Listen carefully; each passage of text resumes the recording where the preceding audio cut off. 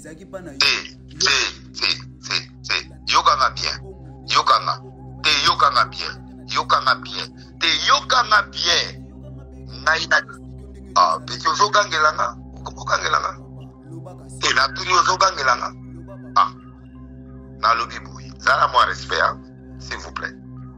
nalobi boye ye toyokanaki boye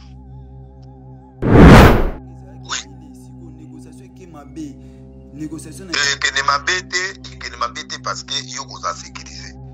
bozalaka na place moko ekopela mais oza na sécurise olobi okende ata place moko boye ozwi ata mwa quelque chose okemwa place moko en attendant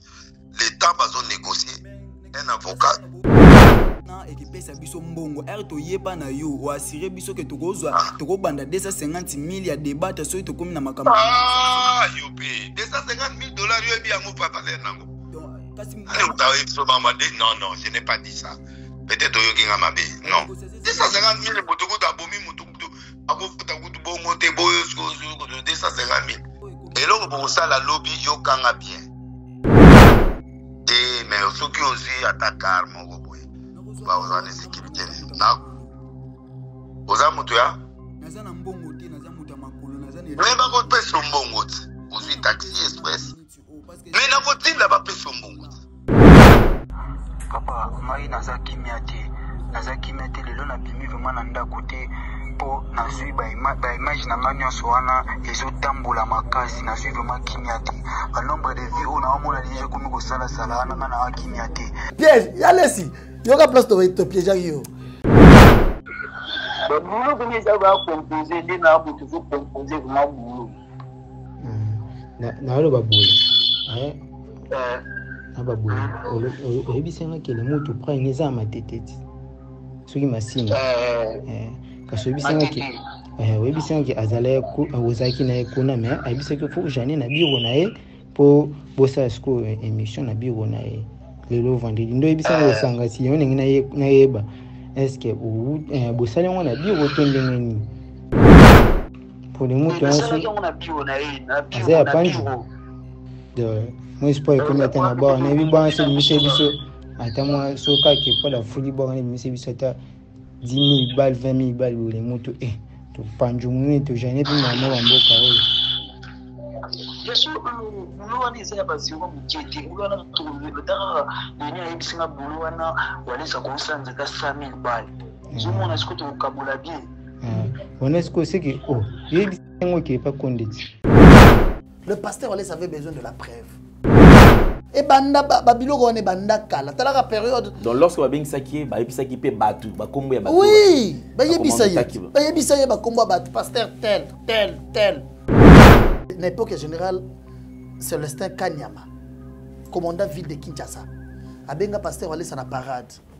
ayebisi ye ke omoni babandi oyo bapresenta ye babandi ke bakangaki bango un groupe de bandit on les a arrêté il venait pour koboma yo babanda oya koboma yo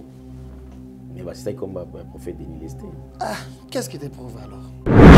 likambo ebandi wapi mpo ekoma lelo na badecision oyo bisika bino bozali kasi nde eloko nauti oloba awa ke pasteur walesa soki andimi ke baka bafunda denis lesi ndenge deya mpo basi bafundaki ye déjà hmm. soki andimi bafunda ye c'est parce qu'il a découvert que cet homme n'a jamais été serviteur de dieu il est à l'œuvre de la destruction de l'église les denis lesi ont travaillé pour la destruction de l'église quand je l'ai vu j'ai dit c'est le larme du crocodile comment est-ce que il se fait appeler prophète aza na écran prophétique kasi ntango bazopiége ye écran esilaki ezalaki na courant te Donc ils solo piéger. On va les piéger pourquoi C'est Dieu qui l'a piégé, c'est Dieu qui l'a exposé. Premièrement, ba mafieux bazalaka ndenge nini? Bango idée na bango eza ba ko empire walesa. la bonne politique tokangisa mwana asali mpo bango denis lesi aza incapable maka ayebi ke likambo eza vrai eza ya solo bana wana baya kopesa kisi ya solo soki totiki mwana oyo libanda denis lesi ayebi place aza bakoboma ye na bato na ye bafundi ye déjà parce que motu nyonso cette fois-ci oyo akoya na télévision pour diffamer pasteur walesa tozofunda ye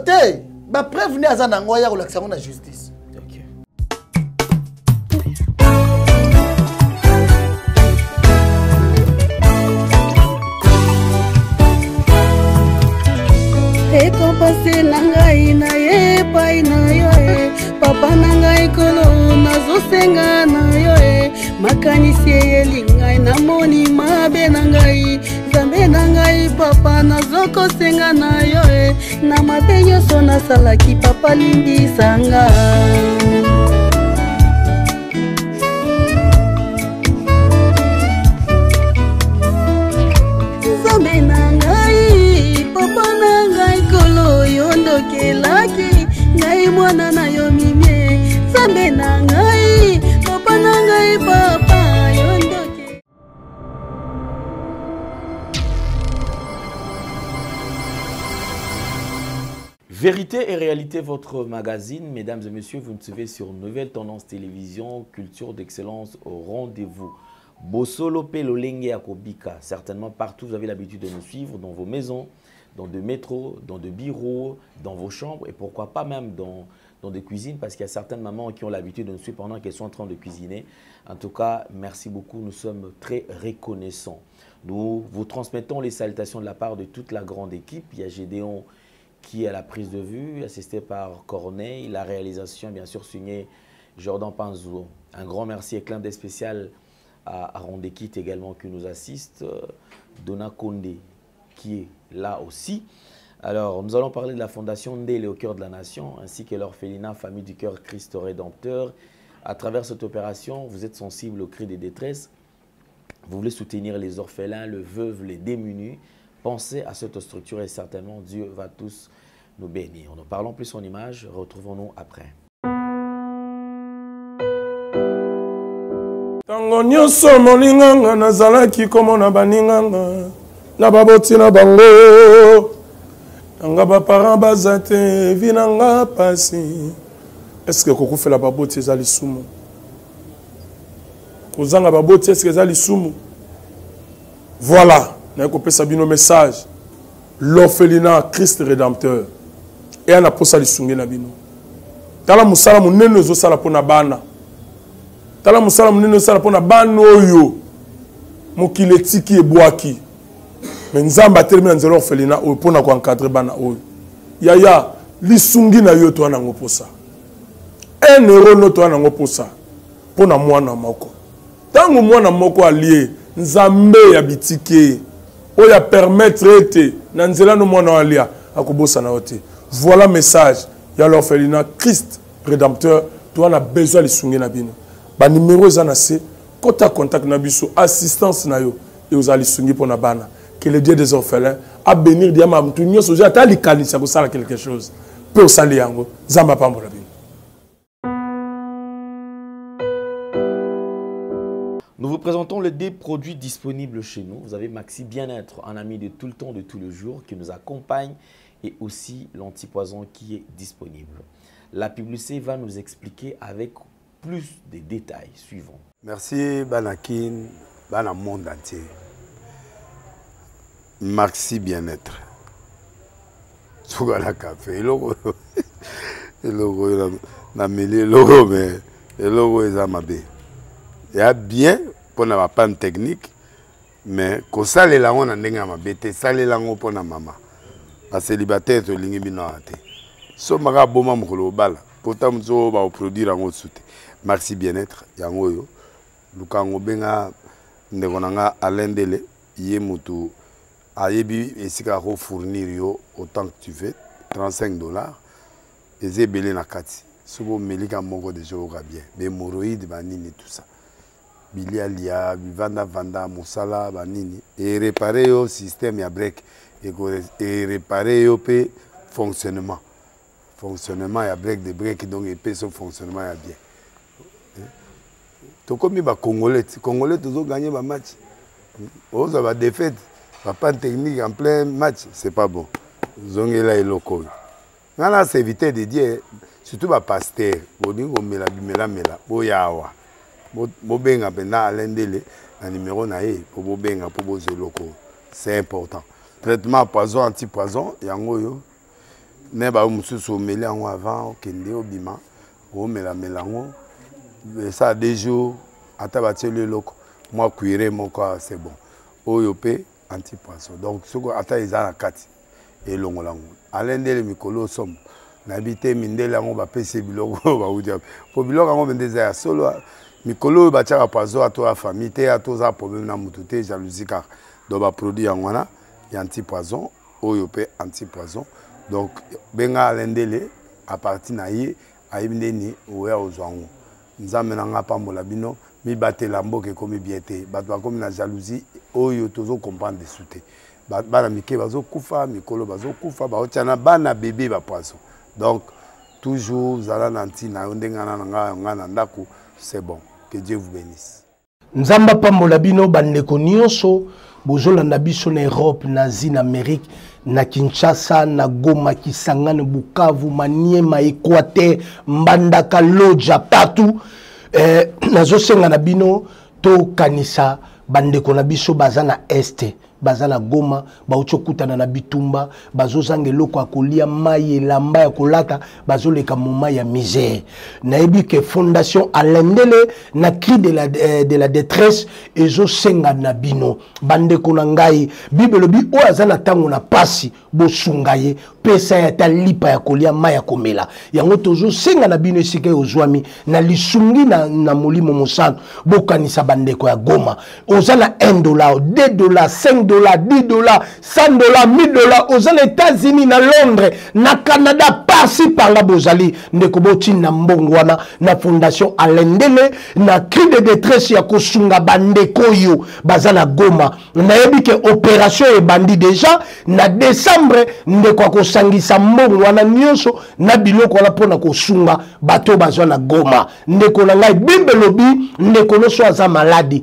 pesa ye kisi azangi eloko na kolia pesa ye lipa ekozala lipamboli mpo na bino tosunga bandeko na biso na est bazozanga eloko ya kolia mai mosusu aza na pota ezosenga swe aza na makoki te ya kokende hopital aza na makoki te ata alcool ya pamba yango 1 dollar na yo 10 dollar na yo 100 dollar na yo esika ezwami bino babaro de fond bosungaka bamusicien bosungaka balanga nzembo makambo ya malamu yango bosunga bosungaka banti valeur bato baza na vision ya malamu ya boye il faut kosoutenir yango botinda mbongo na fondation lendele na cri de la détresse ekozanga te nzambe ya lola akopambola bino apambola bino bandeko oyo bozwi likanisi oyo bozwi susi oyo ya koya kosunga baorphelin bato baza na mpasi bato baza na badifficulté na goma en fait que décembre ndeko ya lendele akita na ekipe apesa mbongo asoutenir ayela bango biloko ya kolia ekozala lipamboli mpo na bino shalom nzambe apambola bino vérité et réalité tout le coup sont permis sauf les injures mesdames et messieurs rien que la vérité bosolo mpe lolenge ya kobika votre magazine comme d'habitude nous avons le plaisir de partager ces plateaux avec euh, un ami un communicateur et également euh, un frère. C'est notre frère Gédéon et confrère qui est notre invité. Je l'invite pourquoi Nous avons invité par rapport à tout ce qui se raconte autour de, l'homme de Dieu, évangéliste Kabundi Walesa. Et aussi, je l'ai invité. Pourquoi Parce que et, et et Salami, entre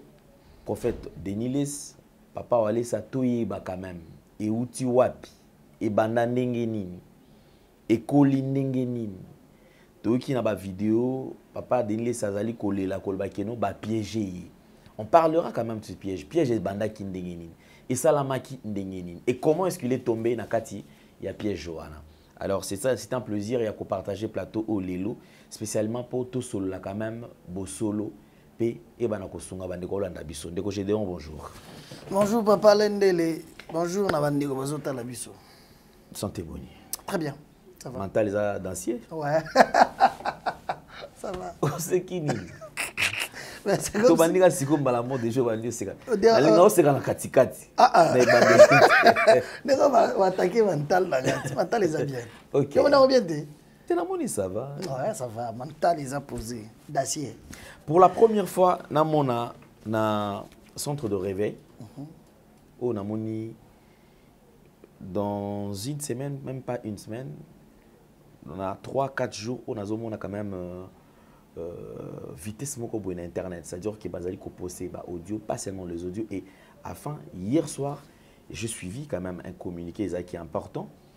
euh, message moko balansaki lobi au nom toujours ya église je pense que balobi mpona kozongisa kotia makambo nyonso tout na aliment base senti bamoni ke non trop c'est trop il a fallu quand même tour oyo badémontre mpe quand même ke oyo esalamaka bazalaka pour yango te bazali contre yango namoni climat ezali korenye ndenge nini quel est le climat qui règne quand même na na, na communauté mobimba non ça va euh, tout va bien l'église se porte à merveille le pasteur va bien mais c'est ça fait que euh, c'est un moment tel que tu venais de le dire l'église euh, bah, une décision il y a que bato ba diffamer pe ming pasteur ça l'église a, eu à réagir sur base de beaucoup de choses qui se dites chaque fois. na a réseau, bolali bolamuki mwana moke avandi afingi mpona libolamuki nganga moko boye ya lokuta ayeka avandi boye ngai aza nganga na ye mpona libolamuki chaque fois puis totikaka yango kaka pasteur alesa loba ah, botika nazolimbisa nazolimbisa non l'église s'est décidé euh, de lancer ses communiqués officiels là pour dire que nous avons saisi la justice maintenant euh, il y a déjà quelques noms qui sont oyo oh, déjà eza na liste oyo oh, basi bafundami déjà nous avons déjà porté ouais, l'église a déjà porté plainte parce qu'il y a certainement il faut l'avouer ce qui va plainte eza mwa ebele okay. il y a les enfants biologiques de pasteur Walesa qui sont si touchés de voir chaque fois leur papa nalobaki na awa na plateau dernièrement période ya bamambo bato ya batiktok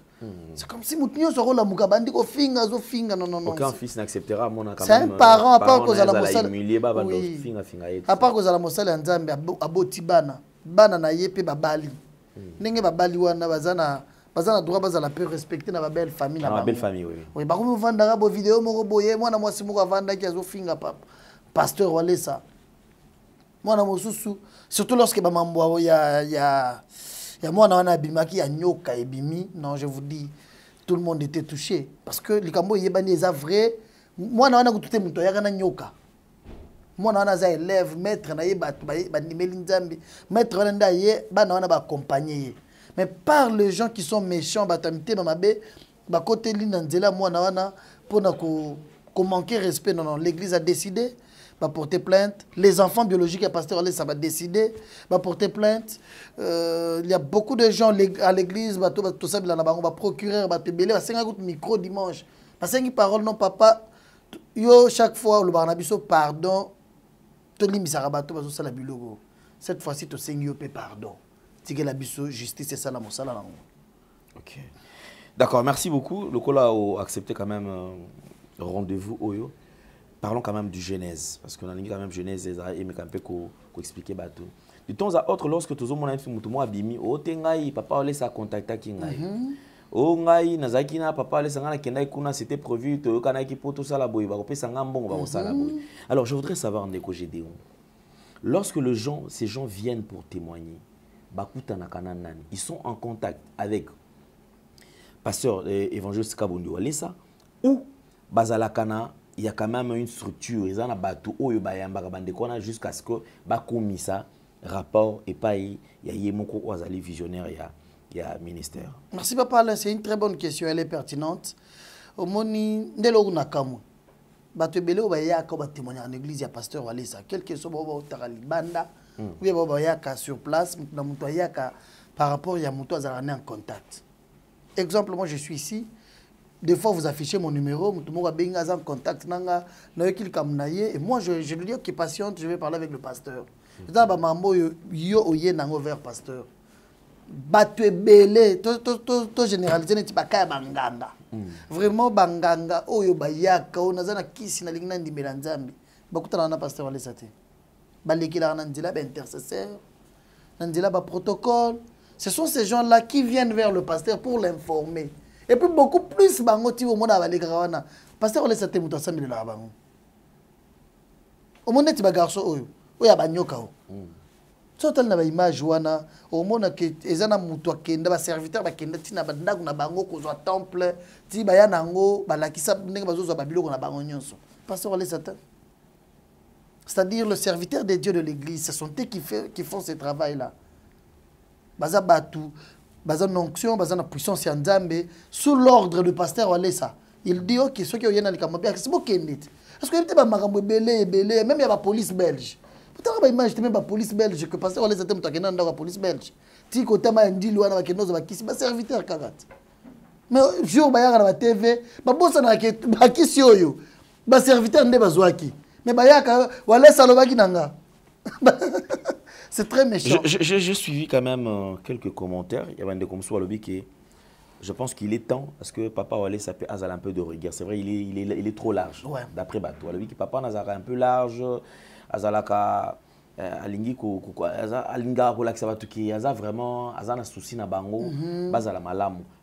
mais apparemment namoni bato bakomi kosemprendre na baserviteur ah oui. disons que kota baserviteur esengeli mpe bobeta mpe sete de même manière que bozozwi disposition mpona kofaire taire quand même bato oyo bayaka mpona kodiffame bozwa mpe disposition ya kolandela mpe baserviteur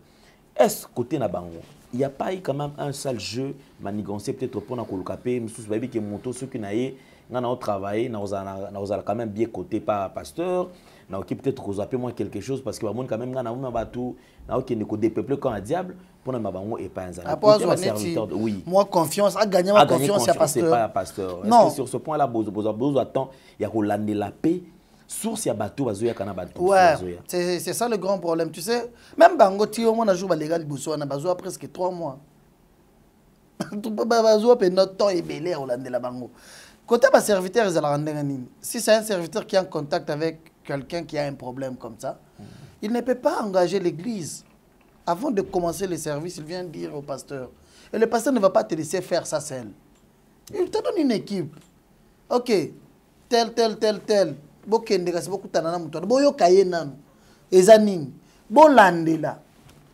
babandi kolandela mpo na koyeba soki ya solo na oza vrai nganga omoni balandeli ti so bakuti mpe na nganga ah, toye temple baza na babiloko aza boye ah ok bobandi soki kolandela koyeba soki ya solo motu wana andimeli nzambe parce que nous nous avons un problème ya bato ebele bayebi que na église ya walesa paster walesa akabelaka bato mbongo eza bana bato bayaka moto mosusu ako raisonne mpe ke ah, na créer eloko na ngai moko boye nakende nakosa mpo bapesaka mbongo maintenant c'est là où il y a la part de l'esprit de dieu quand tu viens par la prière on s'est détecté que c'est un faux c'est un aventurier ozomona mais les serviteurs batravaillaka en synergie batravaillaka mwa ebele dès qu'il y a un problème le pasteur ordonne que ok les intercesseurs un nombre de 5 4 6 bokende bosala yango bosolola na ye c'est très difficile qu'un serviteur omoni baserviteur peut-être moto ya kozala ye moko azosambela mpe makasi ke nzambe ekomisaka na capacité ya nasambelaka baye na eloko boye nalongoli yango c'est pour le, la gloire de dieu mais non pour que le pasteur a côté ye qu'il a bien travaillé non parce que déjà pasteur atindaka bango te ke faites ça bato wana bango moko nde bayaka vers le gens bato bakisi bango moko nde bayaka vers l'église ok d'accord nalingaki quand même tocomprendre mécanisme mhm. fonctionnement nango esalama ndenge nini bato wana si réellement parce que toyokaka kaka ote ngai kutu pasteur alesa prometaki ngai boye mais j'ai entendu ngai moko nayoki nde azoloba keno ngai bana wana namona kutu te nayeba kutu na komona neti lisolo ya maria oyebike nde eloko neti ye neti ya maria abeti meme sete na yango nayebi ata mwana namona ye wapi nakomona elepe wapi je suis à la télévision nayebi pasteur walesa très bien so eza na eloko esala ye mpasi me aza papa alimbisa eza eloko ya maria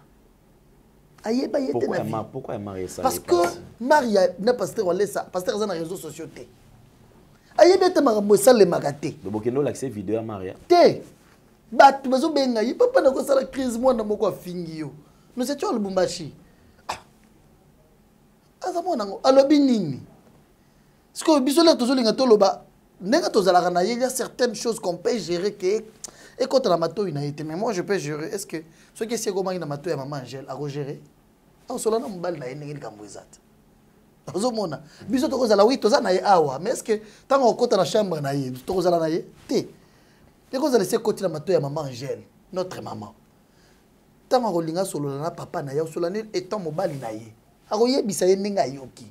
sikoyo pasteur alesa vandi alobi mais comment est ce que mwana yango mwana moke boye akozwa courage ya koleka na bakamera koloba ke nga nabenga ye nayebisa ye ke yaka na pota na yo ngai kabundu alesa vraiment esala ye mpasi mais lokola aza moto ya bolingo moto ya nzambe avandi apekisaki bato nyonso badesida bafunda mariate ye moko asali video alobi nga aza parent naza pasteur nazobunda mpo na bango bandimela nzambe nakoki kozala nazobundela bato ngai su nabanda kokangisa bango te nalimbisi botika ni bana na ngai ni femme ni église tokofunda motu te totika il avait dit ça mpo na maria mais lor ekomi makambo ya denis lesi il a dit non bofunda ye tozoyebisa bino boye Napesi bino autorisation soki bokofunda Denis Lesi 50 place asamba kotoyo asamba kotoyo asamba boye trésor nandimi oyo olobi je t'autorise bana na nzambe nandimi oyo bino bolobi nazo autorise bino na liteya awa nasokoli maboko na tiki bofunda ye C'est ce qui a étonné plusieurs personnes. Oui, parce bah, que. Bah, toi, lui, que ah, Marie Antumba, papa Andimi Kolimbisa, mm -hmm. mes collègues nae, aboyi. Oyebi pourquoi aboyi Et, et puis, apesi, apesi charge na église, abi bosala na ndenge bolingo. Ouais, oyebi pourquoi aboyi C'est parce qu'à découvrir vraiment qu'il n'a jamais été serviteur de Dieu, sa collègue n'a été. Deliles n'a jamais été serviteur de Dieu. Parce que son histoire, son histoire il a été en prison à l'époque ya président kabila pasteur walesa moto apiégeaki ye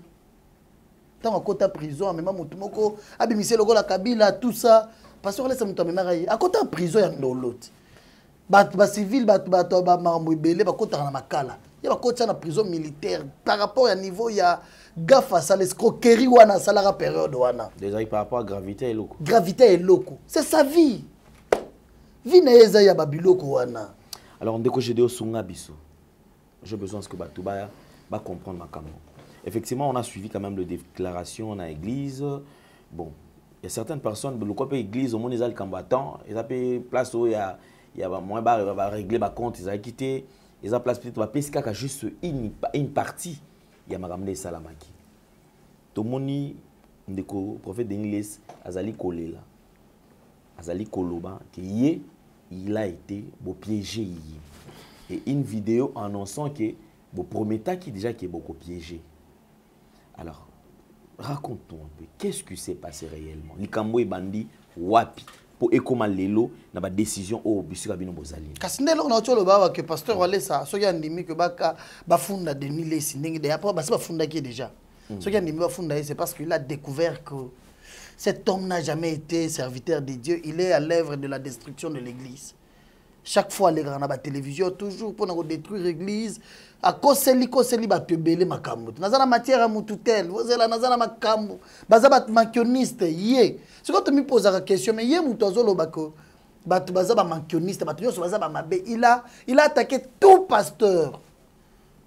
Tu peux te rendre compte que pasteur Marcelo aza na moment ya, ma, ya, ya matanga ya pasi auti okufela mwasi mais Denis Lessi avandi na télévision pour l'attaquer saka azoya na mbeli azokotisa na pota wana c'est sa vie moto akodétruire bavie ya bato kodétruire l'église mais ye moto azoya ko nde eloko na kambo nayebisi kutu bandeko na bino mosusu nabi mais ye moto azoya korévele comment est ce que l'église vit dans le manque ona mais il devrait être le chouchou de tout le monde bato falaki balinga ye azala na église ya bato ebele balobi ah, baeglise oyo nyonso eza ya baaventure denis lesi nde aza moto ya verité nde moto aza na nzambe nde moto aza olakisa biso verité comment bato ebele baza na manki ona ye aza moto ya verité falaki bato balingaka ye balandaka église na ezalaka ya bato ebele parce que jésus marcheke na, na foule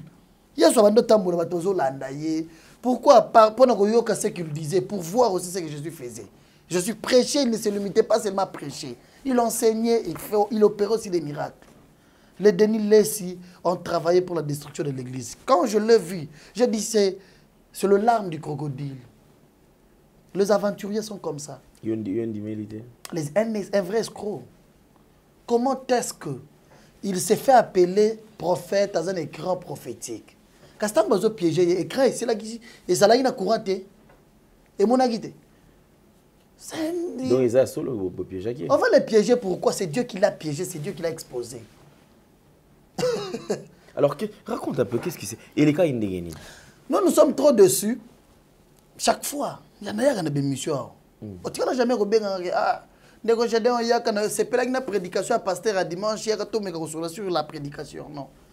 obengaka kaka scandale moko epa walesa chaque fois tomitunaka me banani basalaka biloko oyo papa alain vous savez à l'époque ya général euh, kanyama je, je pense ba, gedeon na bajordan baede biso batala image wana na époque ya général Celestin Kanyama, commandant ville de Kinshasa, abenga pasteur Walesa na parade. ayebisi eke omoni babandi oyo bapresenta ye babandi ke bakangaki bango un groupe de bandit on les arrêté il venait pour koboma yo banda oya koboma yo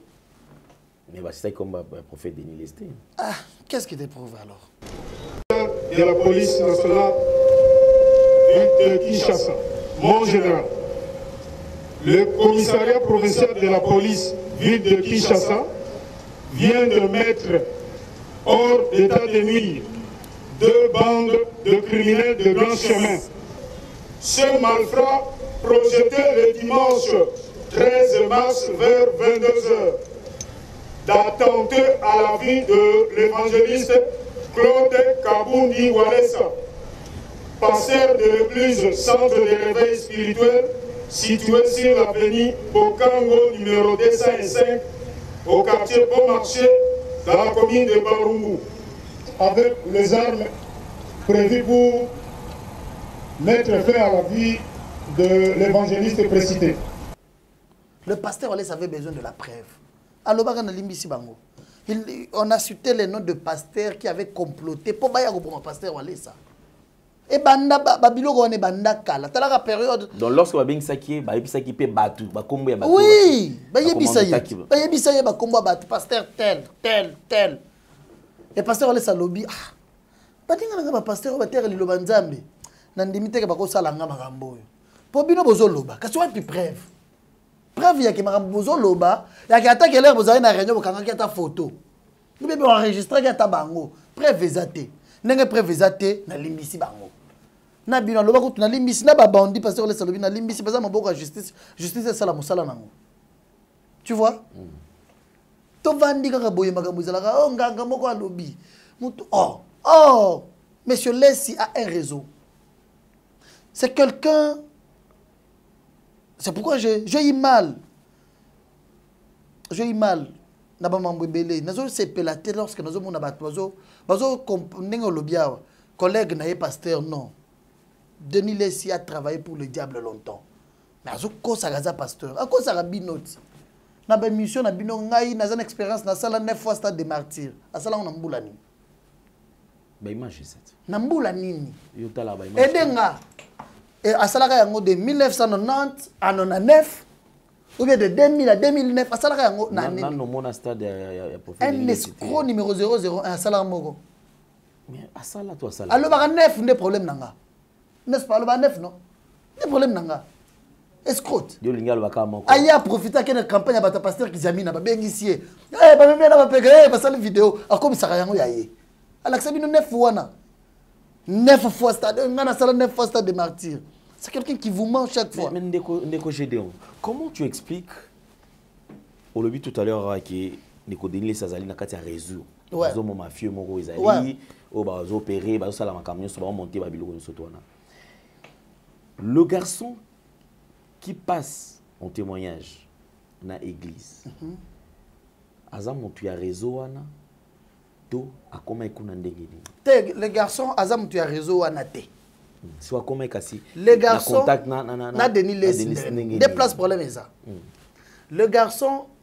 aza pire petit aza ba élève ya nganga nganga moko garçon ya pembe ya mulayi nde voilà nganga nde kolo kisi oyo baza ba petit na ye so tana ba image wana omona mwana wana azalaka ti ba 12 so 10 ans mwana moke akoli na maboko na ye nde nganga nyoka wana ezalaki moko te ezalaki mibale nganga azwaka après 3 sia initiation ya mwana wana azwa nyoka apesa ye se mwana wana nde atambolaka na nyoka akola na nyoka wana ti jour nganga bakisi ekomi kosala retour adesida ya kopesa yango na église ndakota en contact na baserviteur euh, après bayebisi pasteur pasteur aye ayoki ye atie équipe balandela ye basamelelaka bango bapesa kisi ya solo esili banda 2021 na ti lelo ce garçon la maître na bango ayaka na église mm. alongwa te achangea te meme bango nyonso to babandaki koya babandaki koya me lokola baza badistance bakote ya banzela ba, ba, ba, nzela ya nzela matadi hmm. ba badistance nde bakote wana bamitendi vala mitendi nde bakote bazalaka nde bakomi bazoya lisusu te mpo nganga maître na bango ya longwa akoma bakote matete bapeti mibale bango batikala kuna bango batikali bakontinue cop na bango te bakontinue mpe cop te hmm. bandimelaki mpe na nzambe mais batikali omoni te bato moko deja babandi vivre na bambongo moko ya magie hmm. ya kisi après sikoyo botiki bobandeli cop moko bobandi sikoyo ya zero tam sifo banda oteka crédit fo yekola ata moto bakomi bato ya bongo yango bakomi koya mpe difficilement na église mais maître na bango ayaka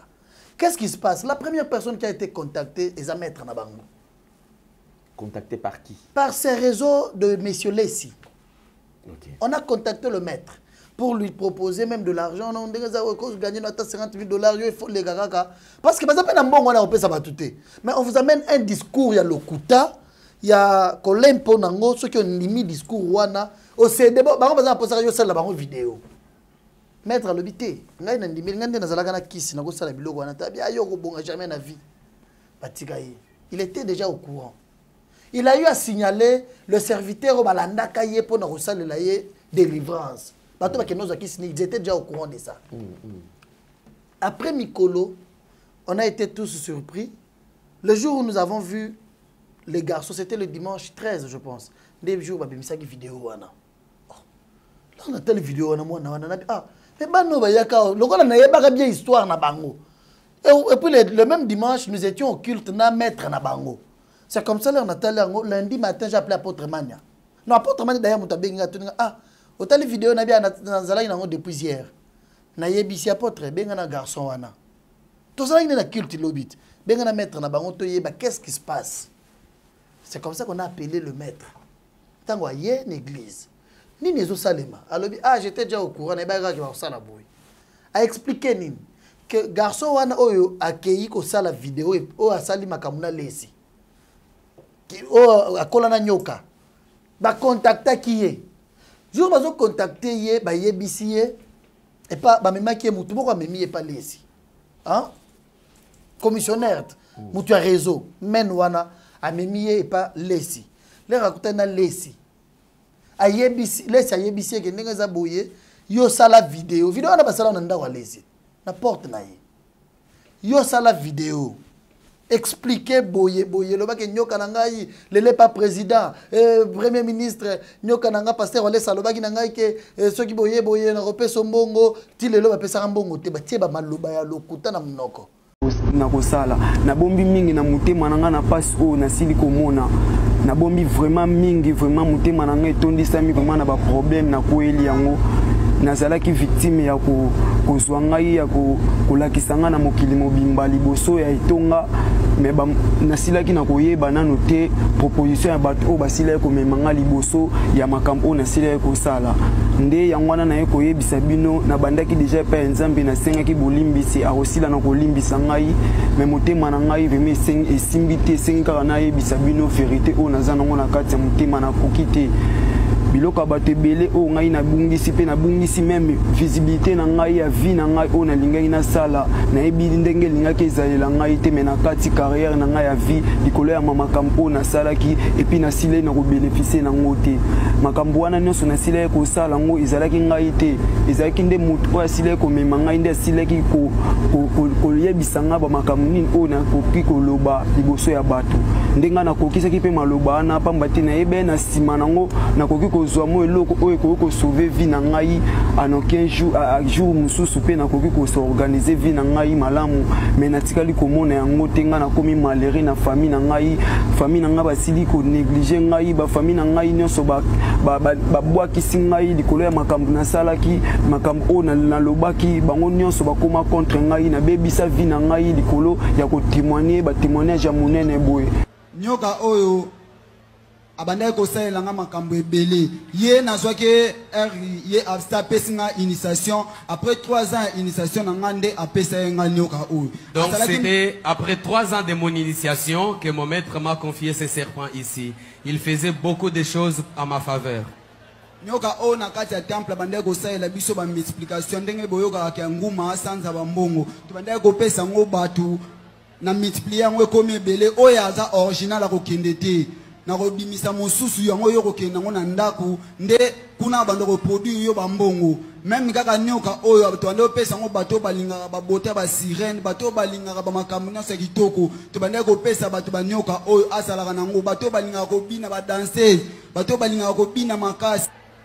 konyoka oyo kaka bande ozala na libuma azomelaka bazemi okomona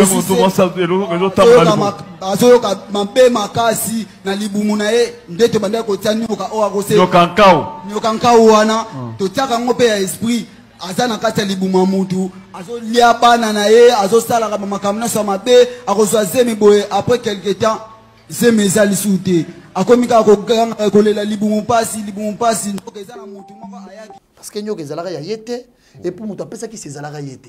mais on a utilisé seulement son image regardez bien la vidéo vous êtes professionnel omoni ke basala yango montage bien makasi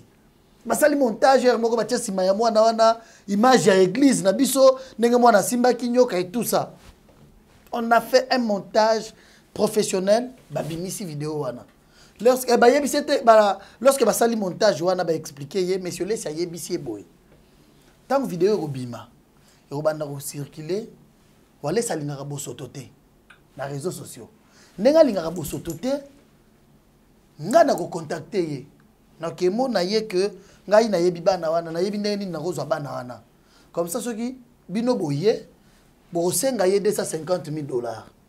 so bosengi 250 000 dollars akoki kodiskute mbongo akoloba na bino mpe akozwa atakokoma mpe meme na 80 000 comme ça yo kozwa 50 000 nasalelo demarche oke na poto mwana yoki avandi siko azoyoka lisolo wana na ndako ya denis les azomona place afutelaka wana mituka azomona motu wana denis les eh, eh, alakisa ye kotuna video ya jour ayaka kosenga paster olesa pardon na ndako akosi mwana wana omoni neti jour oyo likambo moko ebimaka lisusu nakendaka nakenda ozwa larme obwe mpo na koboma moto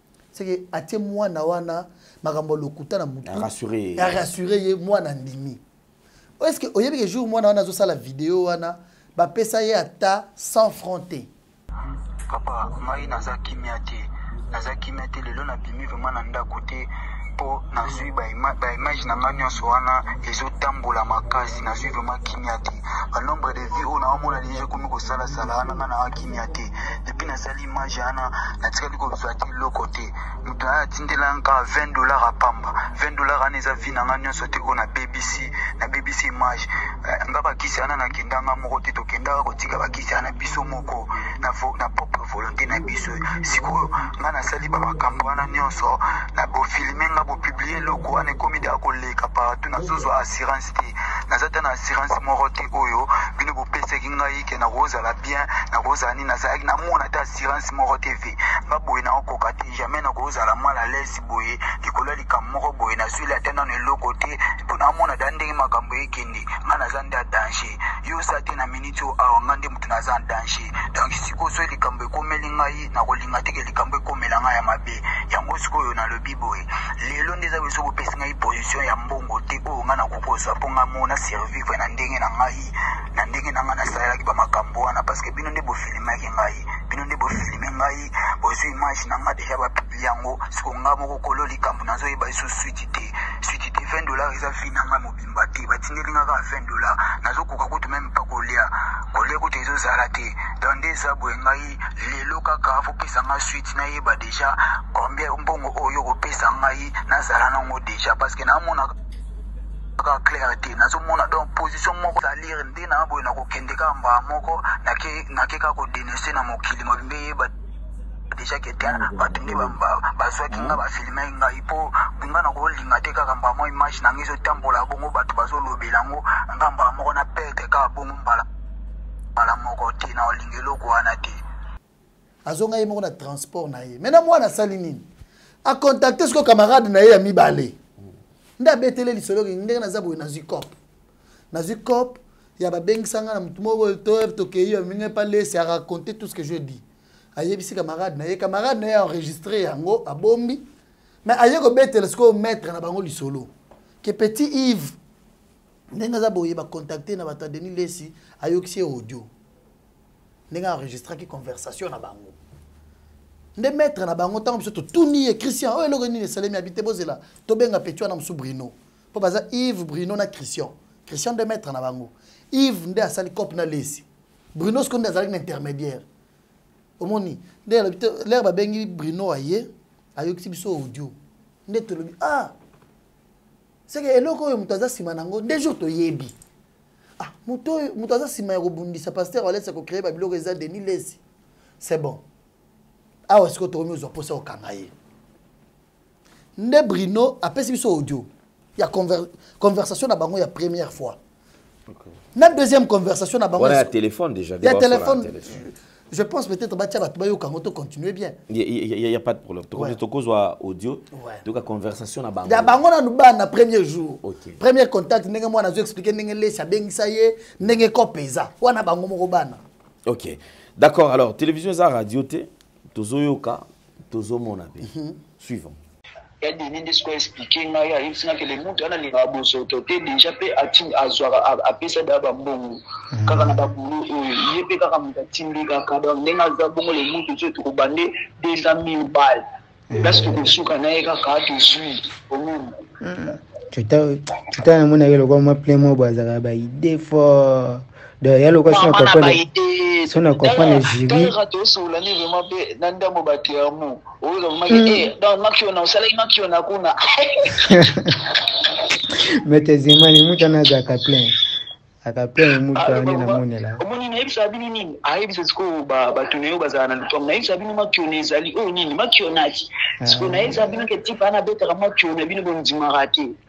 seke son na comprendre ebia ni mutu nde ti aye ocontacte yo seke arada moto ya babulo wana ke atindela eh, abesaka bamasta na ye misusu abesaka bango mpo abimisa bango mokuma mpo aefase bosoto mokuma deja emonana eyale motu aoyoka bongo abouge kete le motu nanga atala kaka efase bokana na émission na yo eleka te banini te propose na combien te na propose otaswa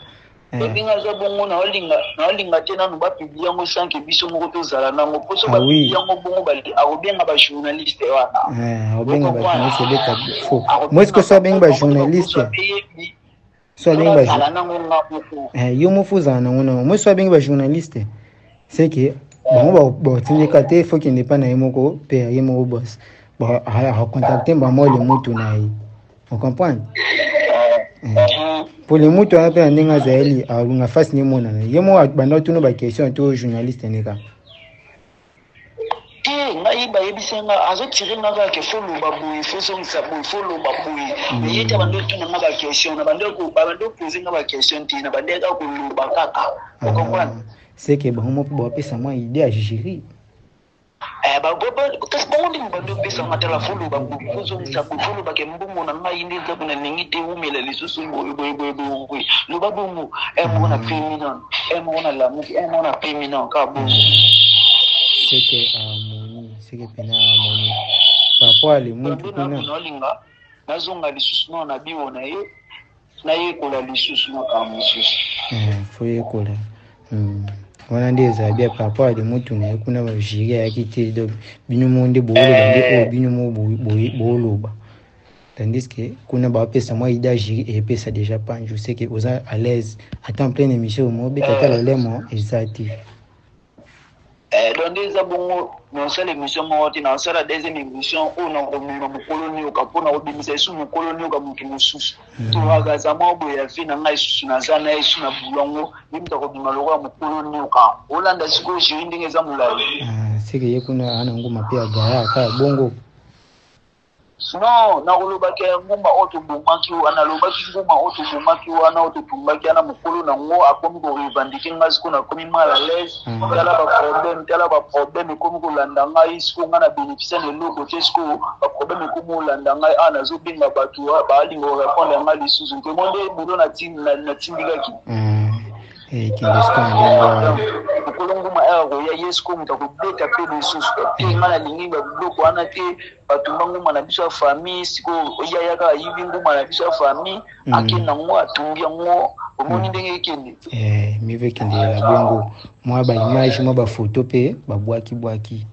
eh, pouve pena kotemba oyo ezalaki pena eye eh, ya zema babulo pena eza bakompose nde na botozo kompose vraimen bulo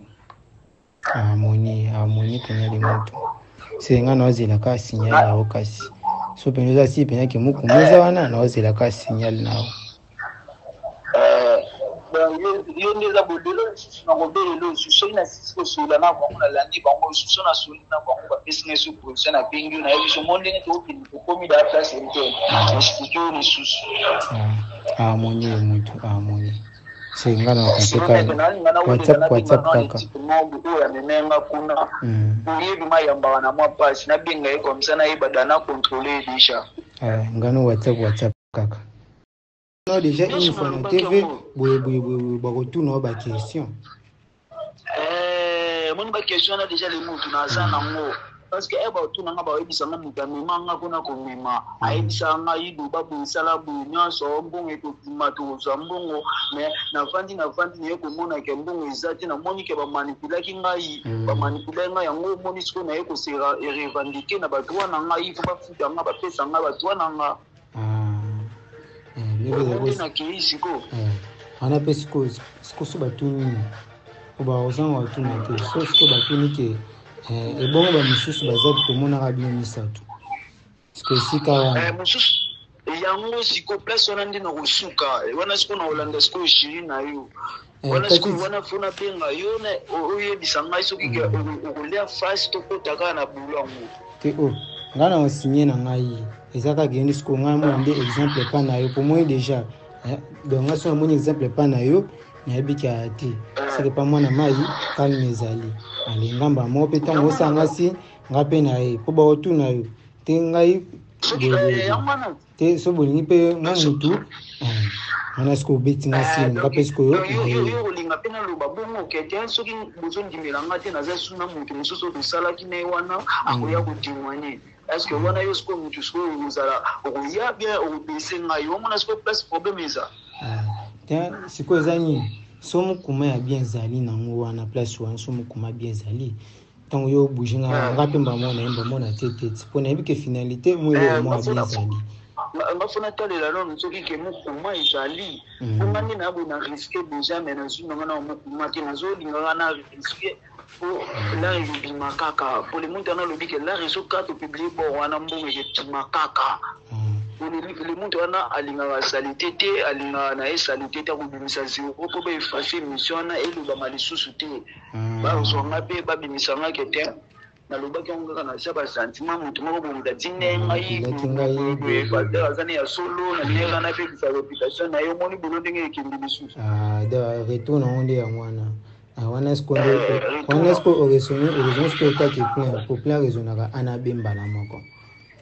atali ndenge ya kokende yango na ndenge nini okau ndenge ya kotima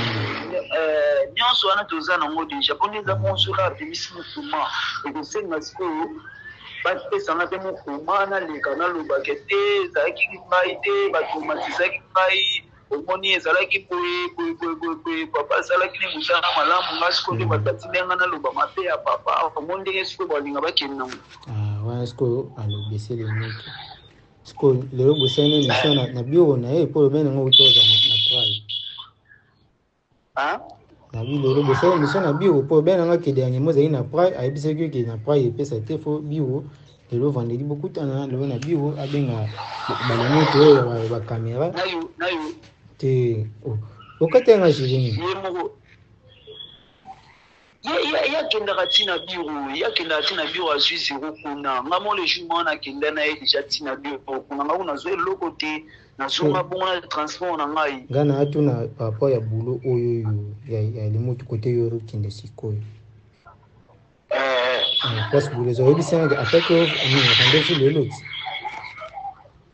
nayebi olobi nayebi prai na ye nayebi mpe na biwo na ye hmm. naloba boye eh. eh. naba boye hmm. oyebisangaki ele motu prai na eza ya matete ti soki masini eh. kasi oyebisangaki oyebisangaki azalaki na ye kuna me ayebisaki fo jane na biro na ye mpo bosala sikoyo émission na biro na ye lelo vendredi ndo oyebisangaki osanga si yango ndenge nayeba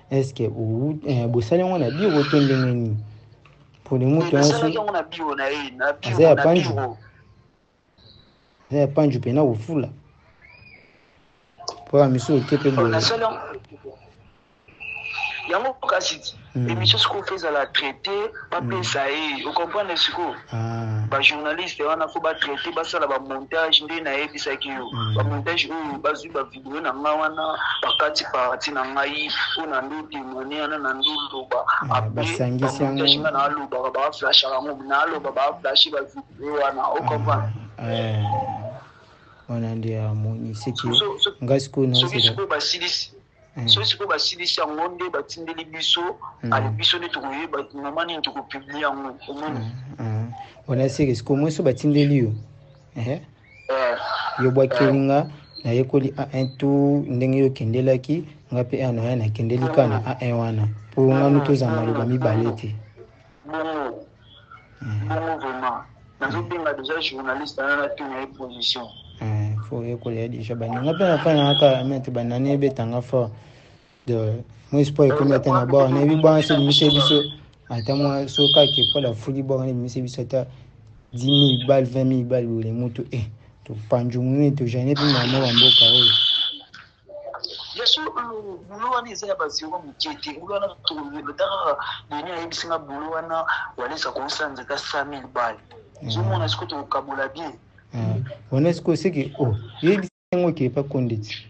Merci de retour sur ce plateau. Alors on avance petit à petit. Alors on aimerait bien quand même tout comprendre. Nini, Makambo, il est kanaki. Alors voilà. Lisolo na bango. Wana bango moko na bana. Le proposition ndenge yaki kozala boye kozala boye. OK, alors to continue. Sikoyo net biso topesi mwana wana idée. Ke yo ke solola na ye ndima ke oza d'accord. O continuer cop. osala na ye nde place bino sikoyo bokoti sikoyo ah, tobandeli sikoyo wana piège sikoyo continue ah, makambo te piège sikoyo ebandeli wana piège ya lesi yoka place topiégeaki yo lisolo piège sikoyo ebandeli wana sikoyo piège wana nalingi na comprendre hmm. papa déjà aza na kati au courant wana eza siko orchestre par yo na na alpotre na yebiso bureau na yebiso bureau nde tolobi ok ndenge eza boye mais bino bo créer pe bureau parallèle pour e permettre bango ba bureau ah! mosusu réseau eza mosusu petit Yves hmm. petit Yves asali cop na Denis Lessi afongami pa camarade na ye hmm. audio mosusu eza camarade na azo tuna ye sikoyo yaya tokendaka biso 3 sikoyo ndenge tokendaka 3 tokoloba yo soki okei yo moko okoloba ndenge nini yabi te yaya nakobeta tactique moko yo ndenge eza na ifo tozala na yo mpo baza na programme oyoki mwana wana na video alakaki ke kolo nyoka kolo nguma akomoluka nguma na ye bokomona ye akoya awa ye akosenga nguma na ye nde bakoba kotravaille siko ye brino ke ye mpe akobima siko lokola ye nde kolo nguma hmm. alors ke kolo ngumba eza christian or ke ngumba ti batumba yango wana hmm. ezalaka ya christian ezalaka mibale hmm. nde basololi siko na ye asololi abio ke lokola eza cope ya mbongo nakokota nga nakokota mpe na kopa yango tosala basololi bongo je pense bato bakoyoka so audio wana après l'heure sikoyo topesi ye mayele yake yo solola na yebisi ke nini ekoprouve nga ke kopo eza ya denis lesi mpo yo nde okutana na ye me ngai mpo nakota nasala cop il faut nayeba wana bazosolola bato batala bamessage baconversation hmm. ayaya ah, me nakondima ndeni ke denis lesi nde ayebisi ye zela asaleli capture d'écran ya ba appel ya lesi na date wana ba appel manque na ba appel entrant ndenge basololi asaleli capture atindeli ye alobi tala kutu toki osola na ye kaka sikoyo nde toyebisi ye yo yebisa ye kasi enregistre denis le soki abengi ye enregistrele yo ata 30 seconde pamba toyokaka voi na ye eh, oyebiseki ngai namoni bapele mais mpo nazala convaincu soki abengi yo lisusu enregistre ye ata 30 secondes mm. yo soki ozweli nga ata 30 secondes na ye nayoki ka voi ya denis lesi alenga na kondima mpe nakota na cope tokoma biso mibale mm. nalobi oke yaya azala calme atuni ye baregistraka na whatsapp ndenge nini ngai nayebisi ye te yebisa ye azwaka telefone ya mibale mm. soki lesi azobenga ye atya yango enregistre masolo na bango so enregistre ka moke atindeli yo wana tokomi jour nini mardi wa mardi na pokwa tabi enregistre kaka lesi soki enregistre atindeli yo ali mbala moko yo opesi biso biso mbala moko tozwi lesi lokola ye nde azosala makambo oyo papa mercredi na ntongo toza na prière naza na douche lere nazozonga na chambre mpo nalata nasimbi telefone nayoki message mibale ekoti ntango nasimbi telefone panda ayoka message ya liboso eza message sikoyo ya yves azotindela camarade na ye bruno mm. yaya nazwi ye nazwi vide nazwi enregistrement nazotindela yo mais s'il te plaît bomba ngai bomba eloko oyo nazwi eloko bando osenga bomba yango s'il te plaît bato bayoka yango omoni bato bayoka yango eza moke ok d'accord eza moke tokaka séquence wana ouais. tolanda yaya eh, natindeli yo bomba ngo yaya bomba ngo vraimen bomba ngo vraimen ya tindeli yo borana soki lelo tobengani lisusu na enregistre natindelo yaya bomba ngo vraimen mpe kaka olobi tokokende bongo mais eloko ya nango te bulu ezali eloko ya nango te le muntu na ngai donne nango nazonga eloko te donc Eh, oyo ekeya ekeya nanga na otemwani kaka bosolo wana mpo ozala mpo akomi olinga aconvaincre camarade na ye mpo akoma mpe na cope bakoma mibale mpo hmm. na bango na motu na ye akoti na ndako ya denis lesi ake na bureau ya denis lesi amoni denis lesi amoni neti ka makambo oyo bayebisi ye eza ya solo yango soki akomi olinga convaincre camarade na ye mpo aya c'est comme ça que atindi deuxième euh, atindeli audio wana nde aye kotinda audio ya bazosolola na denis lesi le batindeli biso audio ya liboso toyoki yango toyebi yo gloire adie tozwi motu esili te toyebi siko makambo ebandi oui allo papa eza ngai nde na chez numero na longoli numero wana mpo bazobenga nga mingi fort ok balobi te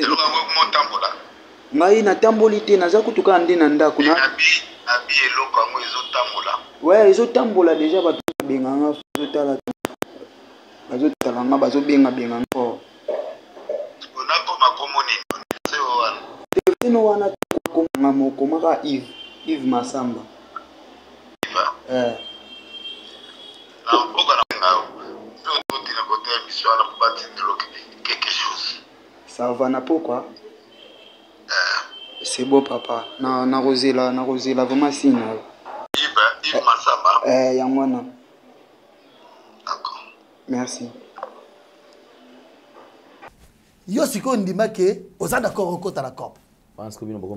tokomi biso bakoti tosi tozwi siko biso tosi tozwi audio ya denis lesb tozosolola hmm. siko nde toye nde jour naye komema sikoyo tomemi bango christian na brino christian maître na bango na petio hmm. brino tomemi bango sikoyo pa paster alesa torelate lisolo ayoki ndenge eza alobi oke denis les aza malin mpo moto asalaka biloko boye eza mpasi bozwa ye mais quand même ndenge tosi tozwi voi na ye c'est rien sikoyo fo tozwa ye nzambe fo apesa biso mobimba mpo nzambe ayebisaki nga ke moto abundisaka yo na koexpose ye paster olesa biso yango bofukama bango mibale asambeleli bango alobi nzambe kanga motu wana misu bloke ye lokola olobi okopesa biso ye pesa ngai motu wana na nzela ya bana oyo bana nzambe na ngai akende na bino bozwa ye monde entier bayeba ke aza moto abundisaka mosala ya nzambe amen bokende mercredi na butu bake jeudi na ntongo tobenga ndeni oyo te tobenga nani na petit wana te esili bango bake sikoyo petit oyo yve akomi na confiance ebele mpa camarade na ye mpo mm. akomi na mposa kotise na deal mm. epuis asi azwi da voi ya lesi apesi ye se akomi kose confie epa na ye soki biso topesi ye deuxième stratégie siko na butu ya, ya, ya mercredi wana mpo na jeudi mm. toyebisi eke eyebisa ye boye deni lesi ndenge apesi yo kope oyo ndenge alobi kakokende epa walesi akozwa mbongo akoki kokende kaka boye azwi mbongo wana apres okomi kobenga ye azoyamba yo te nini okozala nango lokola preuve mpo asi autilize yo nini okozala nango lokola preuve ya kolakisa mpe ata na bato boye mpo ofunda ye mpo akolielo mpe mbongo wana alesa akopesa mbongo wana alieli yo masta timba soki denis lesi azobenga yo chaque fois banda koenregistre baconversation na bino obomba yango opesi ngai mpe nabombela yo mpo yo na une semaine wana denis lesi achangise mwana wana 5 fois numero batama change numero wana luka mosusu keba omoni ayebisi ye ndenge eza boye yo yebisa banda koenregistre denis lesi obombi mpo bakochange yo numero bakobotolo mpe telefone ngai nakozala ngai naza na ordinateur nakozala nazobombela yo oyebike masi wana ake mpena avandi na ordinateur ya bato ya place batiaka bamiziki kote na bango wana hmm. abenge na appel video ati avandi na ordinateur yango oyo natiaki deja babiloko ya liboso wana ye asalisi confiance nde avandi toyebi se yo soki ozosolaka na denis les mambo ozosolola enregistre obomba epai na yo otindela nga mpe natya na ordinateur mpo jour denis lesi walesa akopesa mbongo soki aboyi kopesa biso mbongo wana tobimisa ye nde ayobi a ah, opesi nga vrai boule mpo vio azosalisangaka makambo boye apie nga eloko te c'est comme ça que j'ai dit denis lesi abengi mwana basololi basololi ti mwana azo enregistre makambo ezosalema ye na poto ti esalemaki bakutanaki awa mm. après lokola asali ayebi ke cope na ye esimbi alakaki mpe mwana wana akenda kobimisa yango na ka youtube moko ya moke soki ebimi akosaki ye kutu ke yo moko moto okobimisa yango mm. après bango moko nde bacreye youtube moko ya moke babimisi yango na bajournaliste na ye na bato na ye mpe bakoti yango nde ekomi viral chaque fois masolo na bango eza denis lesi na poto mwana awa nde lere basololi ya ebele c'est par là mwana abandi kopose baquestion mpo mwana mpe asakomi na esprit yake na banda koenregistre père oyo père sikoyo ndenge tosali likambo oyebisi ngai nasala boye eske bakolukisa nga te ozala calme atangi ministre moko soki atangi ministre moko ministre wana akoprotege yo mm. alinga biloko ya bongo aza na baavoka ebele aza motu na nga ndabe amoni eloko wana ebeti eh. nde audio nazolinga bato bayoka ayebisi mwana wana ke eloko osali eleki ya maria meme mama tina asepeli na yo ndenge oza wana oza lokola okweisi empire mobimba moto bapiége mm. lisolo ya ndenge oza wana okweisi empire mobimba empire nini bakweisi mama tina asepeli na mwana wana na likambo nini nani akotisi kombo ya mama deni lesi ye moko yoka baconversation nyonso biso tobimisi mpo baconversation eza biso tobimisa nanu te hmm. na baconversation nyonso tobimisi ye moko atangi mwasi na ye trois fois mama tina asepeli na yo bozela nasola na mama tina nde eh, oyo asukalaki ye bokende mama tina akopesa bino stratégie ya sika bosala je ne suis même pas encore arrivé là lorsque mwana sikoyo jeudi basololi ale atindi mm. atindeli camarade na ye ke agere ye mm. eh, camarade na ye abombele ba biloko ye ayebi te camarade na ye aza pion na biso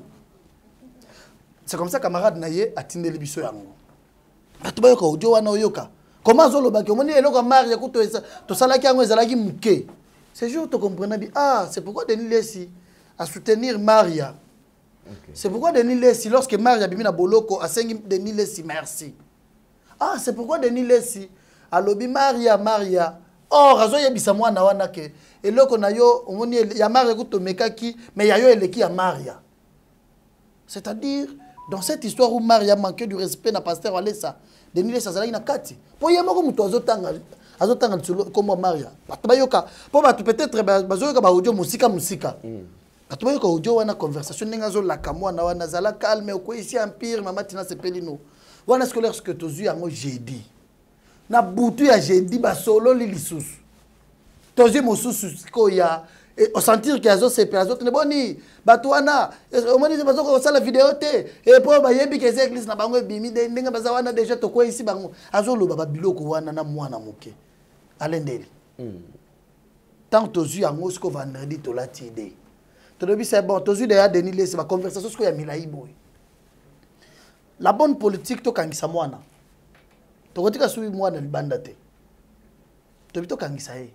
pourquoi tokangisa ye pour deux choses premièrement bamafie bazalaka ndenge nini bango ide na bango eza bakweyisa empire walesa bautilize yo mpo yo oservir bango na réussite ya mission mutu ya boye soki asali mpo bango denis lesi aza incapable maka ayebi ke likambo eza vrai eza ya solo bana wana baya kopesa kisi ya solo soki totiki mwana oyo libanda denis lesi ayebi place aza bakoboma ye na bato na ye bamafia bazala ndenge wana bakoboma yo mpo baza na mbongo akopesa oyo balakaki yo soki babomi te nde kutu kocharge walesa makasi te raisonne kaka mwana moko abimi ya nyoka alobaki walesa alakaki nga mbongo boyoki sikoyo après une semaine deux semaine kakufi walesa abomi mwana wana mpo adenonse ye okay. nde tolobi hey, eh, bato bakoboma mwana oyo tokangisa ye ocomprendre mm. nde vendredi baluki bakangisa mwana merci baluki vendredi bakangisa mwana wana azalaki kota ba dgc kota sola raya bakei ye barate ye vendredi bakangi bakuti ye mpena boye akimi bakangi mwasi azalaki na ye na camarade na ye mpo camarade na ye nde mpiyo na biso nde moto ateki ye boye toza place te sikoyo na comprendaki te bapolisi yango eloko basalaki parce que amikangi foto mpo moye akanga camarade nde foto ezalaki alinga timba amikangi photo atindi akomeli bapolisier ba ke moto aza pembeni na nga nde ye bokanga ye lorsque bango bapolisier baye baweli moto atindaki photo bakangi moto atindi photo batiki oyebi ke mwana nazosenga bango s'il vous plaît naleka eh. bayebisi mesi eleka hmm. oh, balekisi mpe nakei bakangi mwasi na motu oyo aye oyo aye kolakisa bino motu akokanga me nde motu bakangi wana vendredi na ntongo samedi euh, vendredi sikoyo na pokwa bake na mwasi na boloko mm. nalobi non mwasi aza problème te l'infraction est individuel mwasi aza problème te faut la libérer on a libéré la femme sikoyo tolobi non ndenge balibere mwasi camarade na ye ye siko abengi camarade boni bakangi yo ayebi te bakangi nga mpo na tatouage eza na elongi na mpe bango 60 000 francs balobi bazokangakanga bakuluna allez acomprendre azongeli camarade ne conversation mm. tobandi babandi su kosolola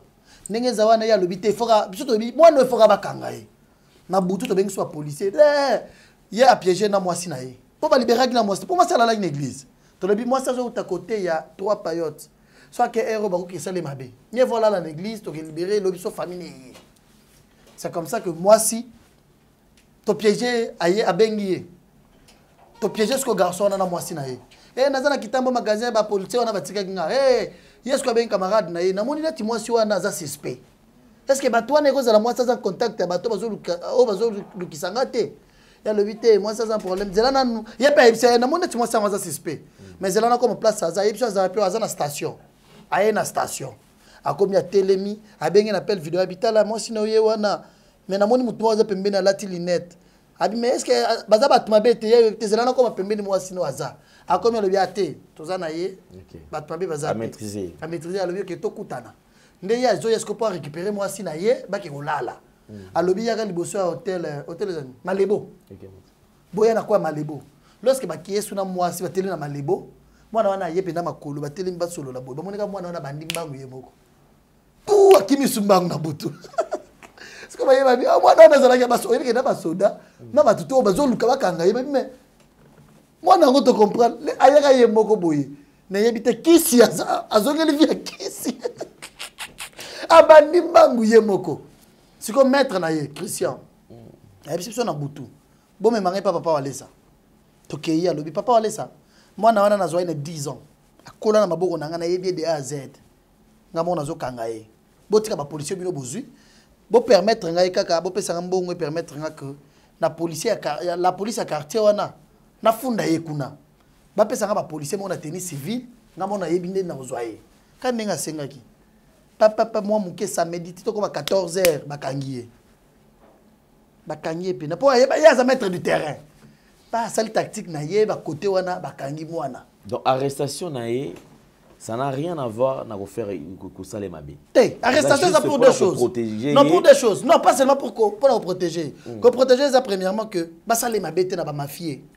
deuxièmement bakanga ye mpo bato bayebake bato basala baventure wana mm. tobandi kokangisa bango mm. ye sikoyo akolakisa ekipe nyonso ye aza oblige akolakisa na boloko mutu oyo atindaki oyo ayaki kozwa ye ameme pa denis lesi parce que kote et puis il faut alakisa biso bajournaliste ya denis lesi oyo basalaki montage wana hmm. oyo bafilmaki ye na mutu moko serge wana denis lesi ye moko atindele message je vous envoie le bato batala message nazo explique soki eloko esalemi denis lesi sikoyo lere bakangi mwana wana samedi avant bakangi samedi le même vendredi azokomela ye message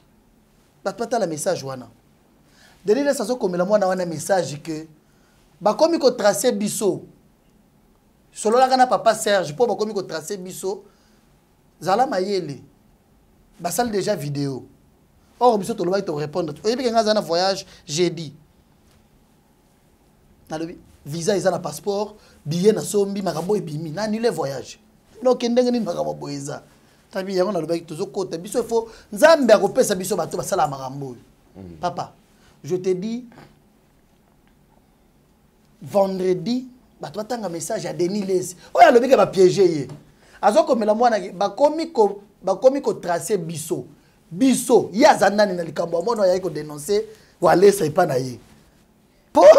na bemission asali yango na mbina bi pour la première fois namona mokolo boye aza mayele te soki nzambe alinga expose yo okobima te okokimela wapi ye alobi ke bapiege nga na mwana wana mwana wana ayaki adenonce walese epa na nga mais yo ozalaki na role kaka moko te oboyi kosala na ye émission otikeli nga plateau asali makambo na ye esili otiki akei mais yo okomi kobengana na ye makasi boye okomi kotuna ye boni tokweyisi empire empire nini oyo yo okweyisi yo otikelaki kaka mwana aya kodenonse yo okomeli mwana message bakomi kotrace biso sololaka na papa serge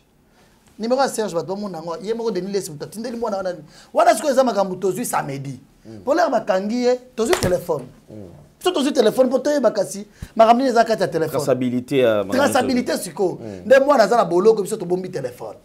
tant totangi bamessage tocomprendre eza na motu na ye wana soki serge diangani serge quelque chose comme ça komoni eza wana mm. bato batanga message wana nde mwana aza daya na boloko samedi na 19 heure atindeli soki denis lesi audio wana aza na maboko ya leta wana bino bozongisi ye yo telefone te toza nanu wana siko biso nde toyebisi ye lere toexplike likambo yo okoti na cope aventure denis lesi aza aventurier akutana na paster walesa te akosi yo mwana siko abandi kozonga abandi kolela nde mwana sikoyo azwi telefone asaleli ye audio papa ngai naza kimia te naza kimia te lelo nabimi vraimen na ndako te mpo nazwi baimage na ngai nyonso wana ezotambola makasi nazwi vraimen kimia te banombre de vie oyo naomona deja ekomi kosalasala wana ngai naa kimia te depuis nasali image wana natikali kozwa te eloko te Moto aya atindela nga 20 dollars ya pamba. 20 dollars wana eza vie na nga nionso te oyo na bebisi, na bebisi image. Eh, nga ba kisi wana na kenda nga moko te, tokendaka kotika ba kisi wana biso moko na, vo, na propre volonte na biso. Sikoyo nga nasali ba makambo wana nionso, na bo filme nga bo publier eloko wana ekomi da koleka partout, nazozwa assurance te. Naza ta na assurance moko te oyo bino bopesaki ngai ke nakozala bien, nakozala nini, nazalaki namona ta assurance moko te. nga boye na okoka te jamais na kozala mal à l'aise boye likolo ya likambo moko boye nazweli ata nano eloko te mpo namona da ndenge makambo ekende nga naza nde ya danger yo sa te na minute oyo awa nga nde moto naza en danger donc sikoyo soki likambo ekomeli ngai nakolinga teke likambo ekomela ngai ya mabe yango sikoyo nalobi boye lelo nde eza biso bopesi ngai position ya mbongo te oyo nga nakokozwa mpo nga mona service na ndenge na ngai na ndenge na ngai nasalelaki bamakambo wana parceke bino nde bofilimaki ngai bino nde bofilime ngai bozwi image na ngai deja bapibli yango siko nga moko kolo likambo nazoyeba iso switi te switi te 20 dollar eza vi na ngai mobimba te batindeli nga kaka 20 dollar nazokoka kutu meme mpa kolia kolia kutu ezozala te don nde eza boye ngai lelo kaka fopesa ngai switi nayeba deja combien mbongo oyo kopesa ngai nazala nango deja parceke namonaka kaka clair te nazomona donc position moko salir nde na boye na kokende kaka mbaa moko nake kaka kodenonce na mokili mobimba eyeba deja ke te bato nde bazwaki nga bafilmaki ngai mpo nga na kolinga te kaka mbaa mwa image na ngai ezotambola bongo bato bazolobela yango nga mbaa moko na perte kaka bongo mbala mbala moko te na olinga eloko wana te alobi bato bayoka yango papa yo olobaki na ngai ke bokopesanga mbongo na tanda oyo wana ekobima kuna me ti lelo bozopesa banda bapiyaka kaka 20 dollar vi na ngai mobimba ekomi ya danger ozoloba na ngai nabatama na ndako nabima te me na 20 dollar kaka wana ti lelo nde naza na yango banda nasali makambo oyo c'est à dire on a utilisé cet enfant là pour 20 dollar nde bapesa ye jusque là voilà comment il est méchant nde ntango atindeli ye audio na 19 heure esili ah, bato balongo na boloko mwana atikali na boloko me tokei na telefone na ye tokomi 21 heure deniles abengi bato batala ntango abengi tobi ah, deniles abengi bato sikoyo balingi bato toza bango na moi moto balingi asagite jana to repondre na bi te botika apele ekati toyebisi bato bokenda na polisi bopesa mwana telefone abenga ye basolola nde baconversation sikoyo oyoki ya suka bakomi koswana wana oyo alobi na télévision ke bapiége nga tosololi 40 minutes babimisa nyonso or biso tosi tozalaki na bamasolo na bango ya semaine mobimba mm. ti mwana azosolola eza na présence ya bapolicier mm. la police bayebi likambo wana mwana na maboko po toyei kosenga bapolicier ke likambo yango ndenge eza boye motu wana ye azobenga kanza bapesa mwana o telefone abenga ye basolola nde mwana abandi nde première fois biso tobandi koenregistre denis lesi wana sikoyo na batelefone na biso wana mwana aza na boloko na mboko la police abengi denis lesi eh, yami mwana boni ali mwana sikoyo ayoki langage ya mwana échange hmm. nde acomprendre ke eh, bapiége nga wana mwana aza na boloko me makambo nyonso basali semaine mobimba nde oyo nalakisi yo hmm. ayoki babandi koswana na mwana nde oyoki azoloba mwana okomogangela nga hmm. kogangela nga te ezala calme zala quand même na respect na koswana na bango mwana yo olobaki nanga 250 000 dollars abi te 250 000 dollars ata moto abomaka bato bapesaka 250 000 dollars eh, toyoki tobi mais comment papa akoyeba ayeba ase prix ya oyo bafutaka bato babomaka bato alobi mpenza oyoka audio wana totyela yango bato bayoka yo tika babandi kodiskute yo tika na bitala sikoyo ndenge nzambe akomisi zoba akomi koswana na mwana moke peti nde aye koapese ye ayebisi eh, yoka nga tokosala boye lobi zwa mutu na yo nde moto atiaki bango en contact zwa ye na serge bosala eloko mosusu comme ça wana soki ebeti ekotia kimia seke nde ekobimisa mbongo nde tokateli nanu wana tobi ah oui alors je voudrais tolanda audio ya suka ouais. pour permettre biso kaptoki tona deuxième partie deuxième partie ezali les dispositions prises to démarche oyo to décision oyo quand même euh, communauté ezui papa walesa azui entre autres tobanda olanda jour wana quand même pression ezalaki makasi tomoni même bana tension ezalaki mpenza bien te alors tolanda audio ya suka mpo epermettre biso quand même par rapport ya traçabilité ya histoire ebandaki ndenge nini ekendaki mpe ekosuka ndenge nini suivant nauti nauti kobenga ye nde nakataki nauti kobenga ye nde azoyebisa nga makambo makambo ya mbongo eza mpa na yo eza mpa na ye te ye ayaki na makambo mpa na yo mpo yo nde olandela makambo ya mbongo yo nde okende konegocie yo nde moto okolanda banego ah, d'accord yokaka bien voilà ce qu'on doit faire parti wana nga nayeba ye maîtrise soki ayebisa nga bongo nga na nga na négocier alors eloko tokosala eza boye yo il faut se calmer d'abord to abima na kati ya lisolo wana tv négociation ya mbongo ezalaki epa na yo ezalaki epa na yo yokanga bien yokanga te yokanga bien yokanga bien te yokanga bien ngai na ah, peti ozogangela nga okangela nga te natuni ozogangela nga ah. nalobi boye zala mwa respect hein? yeah. s'il vous plaît nalobi boye ye toyokanaki boye soki image ebimiso bato banegocie babandi obenga normalement bato bayebi nimero na nga te parce que nga natie nimero te bayebi ba source ya likambo ndenge eza te bakokontakte nani to réfléchi nga na bakontakte motu te ça c'est un erreur peut-être tosalaki ntango oyo image wana eza koleka il fallait kotia numero ya contact toka tosimbisa yango peut-être motu moko boye aza neti avoka na biso aoza neti avoka moko neti avoka na yo mpo ntango numero wana bazobenga ye azoyamba epuis akofaire face na bato wana sanke batouche ye première erreur tosali bon eza mpe erreur te eza mpe trotard te parce que na mini eh, yoka pourquoi eza trop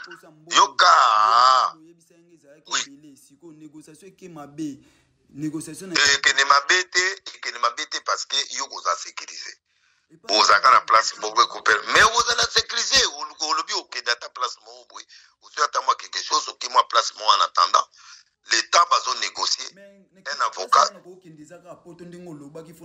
e poto te poto bakanga mpe motu yo yeba te ke poto kuna eza trop dangereux o oh, poto okanga motu te kutu poto kutu bakozwa yo facilement parce que poto soki ya interpol etindika message motu wana na place boye nde bazwi yo mpenza bien bien mpe bazongisi yo kini wi eza na bongo te mpo oyeba yango te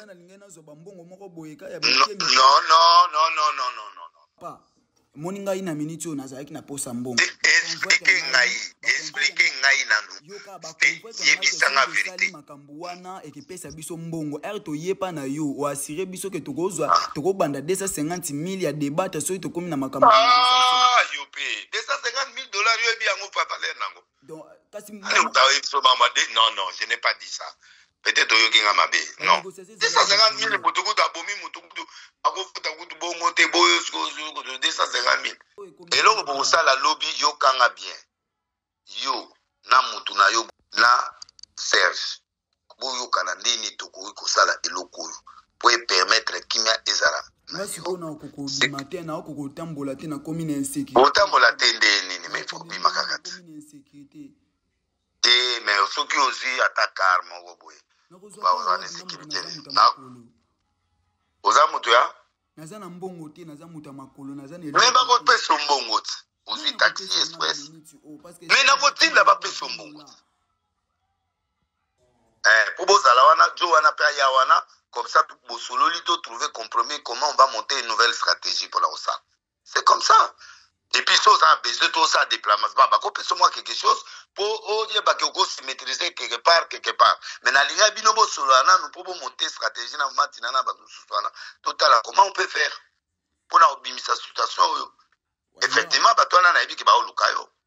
Oui, c'est ça mais comment on va faire maintenant yango nazoloba yango nazoloba na yo olio mata mata mata c'est ce qu'on doit faire donc yo serge na motu na wana na bovandi nanu botala comment on peut faire ouais, c'est bon problème te kasi comme ça ocomprendre te nayebi te soki nalobi mabe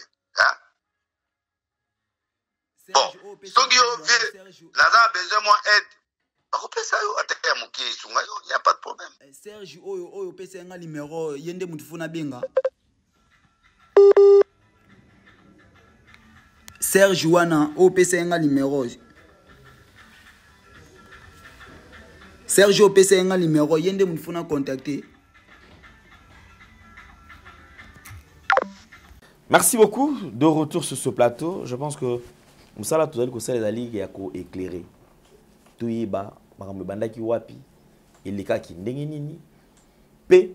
ekosuka ndenge nini. parti mosusu wana ekoannonce biso parce que quand même qu'on laisse le temps le temps ekodéfinir quand même euh, nini ekosalama to makambo ekoévolue na sens nini tomoni euh, audio ya suka tolandi conversation ndenge elekanaki alors na nyonso tu ntango papa walesa ayoki yango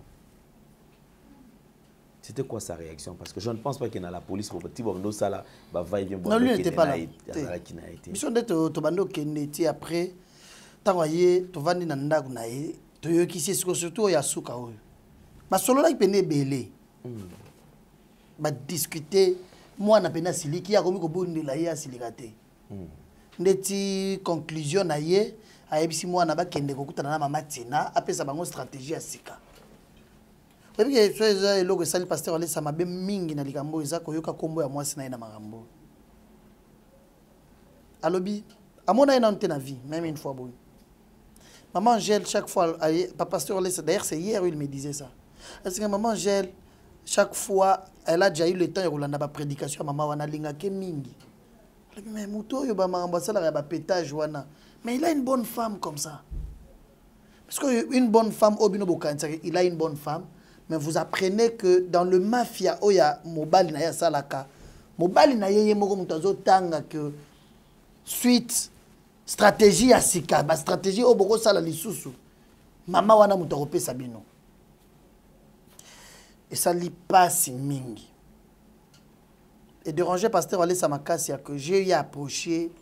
po biso nde je vais t'avouer si denis lesi ayi avoir pasteur alesa c'est par notre canal baza bacamarade te yango nayokaki mabe lorsque je, je vu euh, ndeko roger baka ndeko roger baka na émission bosalaki na ye hier euh, na démarche oyo azolinga kosala akozala aza na mposa kosala démarche ya bien mais azosala yango mabe vraiment azosala yango mabe makasi et puis ça le pasteur olesa mabe makasi même ce matin j'étais avec le bureau il m'a mabe à part seulement de roger baka les autorités de l'église de réveil babengi pasteur allait ils sont en train de parler avec lui hier même ils ont été même avec lui en face baza démarche je pense que eza eza eza démarche démarche bazo sala eza ya bien vouloir peut-être ko siko place démarche ya Roger Bake baby hmm. ezali ya ko comparer ko komisa pasteur Walesa na Denis Les neti baza Or, pasteur Walesa déjà, talaka muto boyo découvrir qu'il n'a jamais été serviteur de Dieu. Mais quand toi tu viens à la télé pour dire que boza basala nzambe boyo kana.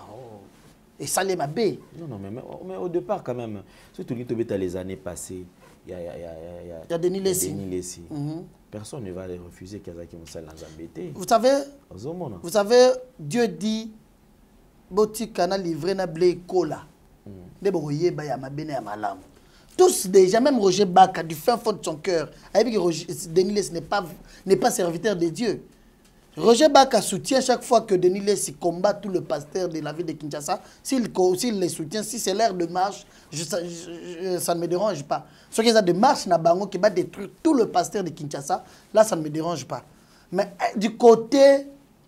oyo Denis Lessi ayaka na basi ya sima minene na télévision abeta masolo ya ba break, ndenge azobeta ba masolo ya akotaka ba boîte de nuit.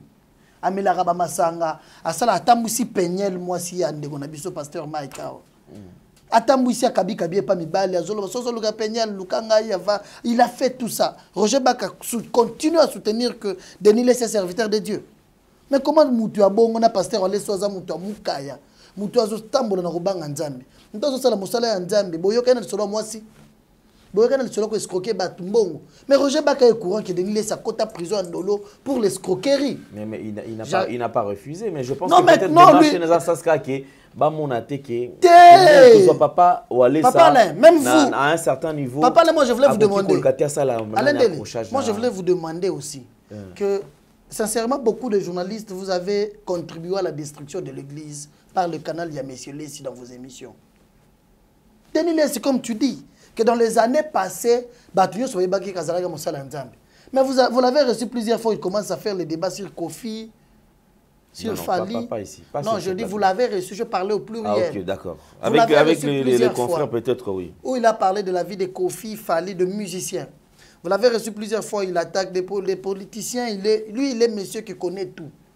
Vous l'avez reçu aussi plusieurs fois dans vos émissions où il, attaque, il a eu à attaquer chaque pasteur, Marcelo, Mutombo, eh, Kizamina, eh, Kankenza. Ngako na lobaka.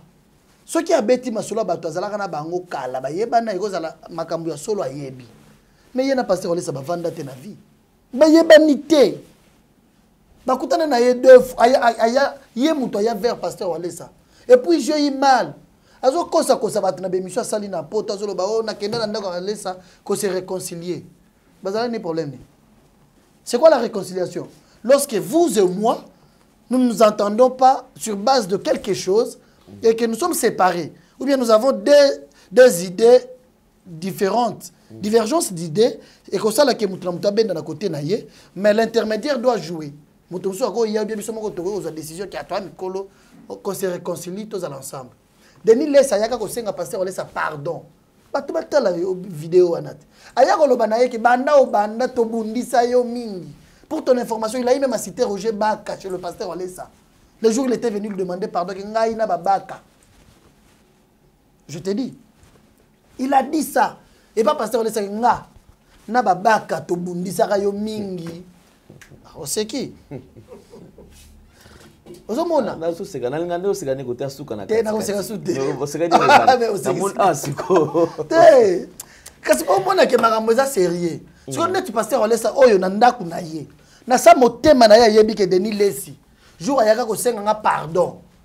mm. atangelaka ngai mpe nkombo ya baka ke basanganaka na baka mpo babundisaka nga maintenant on voit le même baka sur votre plateau pour dire que na moni vision nzambe alakisi nga denis lesi nzambe alakisi nga mpe walesa basangana non non non ne sont pas d'accord avec lui sur à ce point là okay. c'est à dire ye ayebi makambo basalaka lor na denis lesi et nous ne voulons pas ça je, je n'avais pas voulu lui le dire au téléphone. On avait parlé hier, je pensais qu'on devrait se voir en face. Je pensais qu'on devrait se voir en face pour parler. Mais rien n'empêche quand même. Que non, mais hein. subitement, comme il a parlé à la télévision, je dis, je dois lui répondre aussi à la télévision. Que sa démarche de la paix, c'est une bonne démarche. Pasteur Alain ça reste un homme de la paix. Preuve en est que toutes ces années, on l'a insulté plusieurs fois. Qui vous avez vu passer Walesa à venir répondre Qui vous avez vu même moi venir dire que Moutouana Toboy non Biso Toyaga Rolaksa Batou. Si quelqu'un est dans le mensonge, nous on l'amène la vérité. Mm. Mais déjà na motema ya pasteur Walesa na mutu na ye ayebi ke Denis Lesa ayebisanga ke na babaka tobandaki kobundisa yo.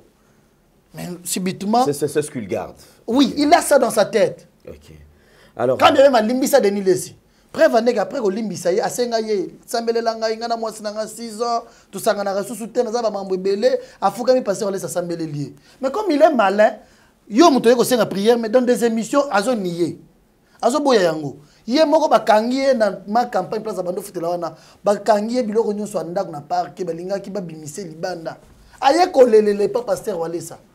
kotika ngai te ede ngai naza na problème paster walesa kotina ndako apesi mbongo ya nyongo ya bato ya ndako abandi kofuta te afuteli ye papa alain la personne qui t'a fait du bien dans la vie le karma existe moto asala bolamu na vie kabundu alesa asali ye nini bazo wela ni parce que déjà preuve en est que ya zolo ba piéger nga mais ye moko mutu aya ko senga ye pardon que to bando bundisa yo banda ya ko sala wana pasteur alesa yebi couleur ndaku na yete ayebi couleur ya porte na ye te ayebi couleur ya église na ye te kaka ye lisusu azo se retrouve na likambo ya tolonga kutu ya babandi ya bana oyo ke bobima bobimisaki témoin biso na église na biso on n'aura pas une minute ya kosala témoignage ya lokuta esili te baza ebele je vous donne les images ya mwana mosusu sisko bafundi epe ayaka mpe bayaka na jaribu oyebi jaribu mm. jaribu ayaka na 12 personnes alobaka 12 disciple na ye na 12 personnes ya jaribu ayaka na bango ngai nandimeli nzambe kaka ndenge kristian aye mpe ngai nandimeli nzambe bino na bamisu na basi na bango alekisa bango liboso totika kisi bazwi engagement totiki mais soki bozongeli mpo bana wana biso bazwa na bateme nazopesa ba image bato batala batiango ata na illustration tala aya na banyoka asala bakisi garçon wana cisco namoni mpe video ya mwasi na ye ezocircule na bareseau sociaux mpe ngai mpe balakaki nga 1500 or lorsque tolandeli tokuti ke c'est un réseau na telefone ya mwana wana makambo eza meme bango wana ba cisco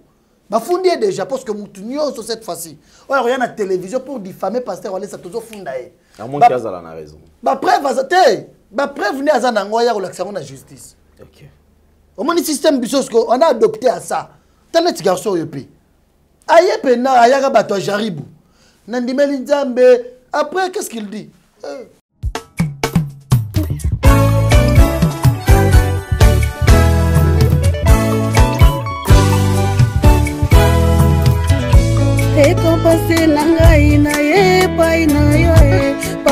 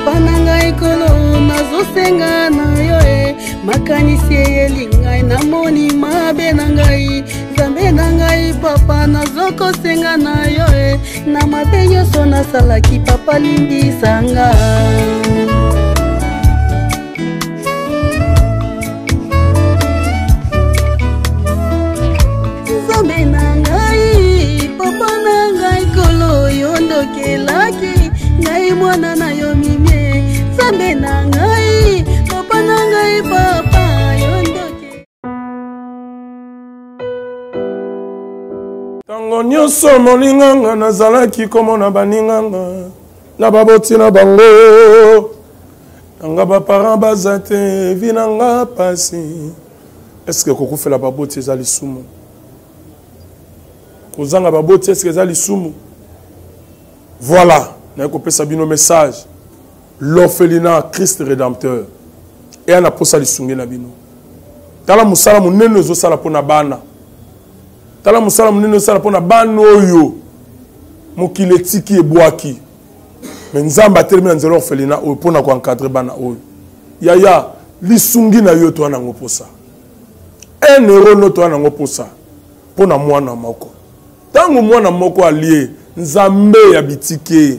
oyo apermettre ete na nzela no mwana oyo alia akobosana yo te voilà message ya l'orphelina christ rédempteur toza na besoin lisungi na bino banimero eza na se kota contact na biso assistance na yo ekozala lisungi mpo na bana que le dieu des orphelins abénir diama motu nyonso ozwi ata likanisi ya kosala quelque chose mpe osali yango nzambe apambola bino merci bana kin bana monde entier maxi bien-être suka na kafe eloko oyo eloko oyo nameli eloko oyo me eloko oyo eza mabe ya bien mpo na bapane technique mais kosalela yango na ndenge ya mabe te salela yango mpo na mama baselibataire tolingi bino awa te sombaka aboma mokolo obala mpo ta mosusu oyo bakoproduire yango osu te maxi bien-être yango oyo luka yango obenga ndeko na nga alain dele ye motu ayebi esika akofournir yo autant que tu veux 35 dollars eza ebele na kati soki omelika moko deja oyoka bien bemoroïde banini tout ça bilialia bivandavanda mosala banini erepare yo système ya break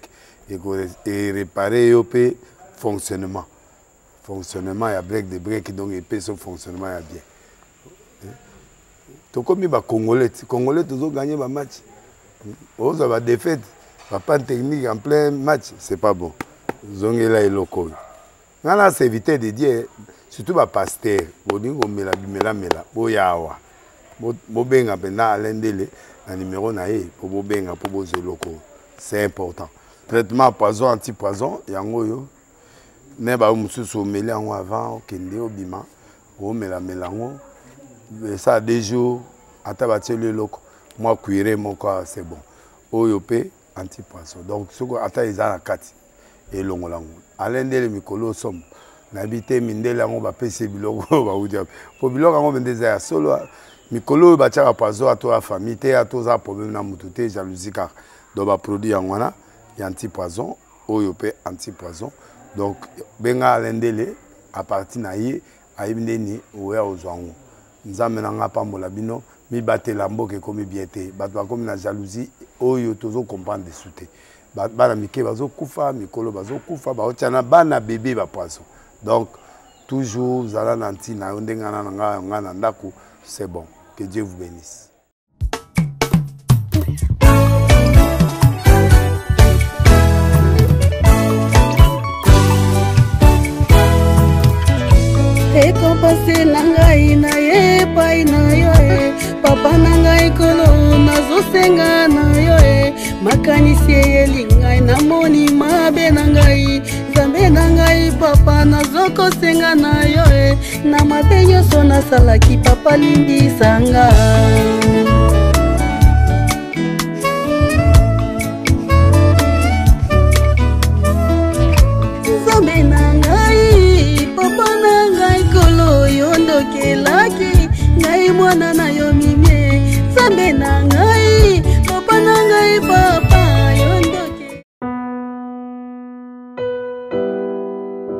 ntango nyonso molinganga nazalaki komona baninganga na baboti na bango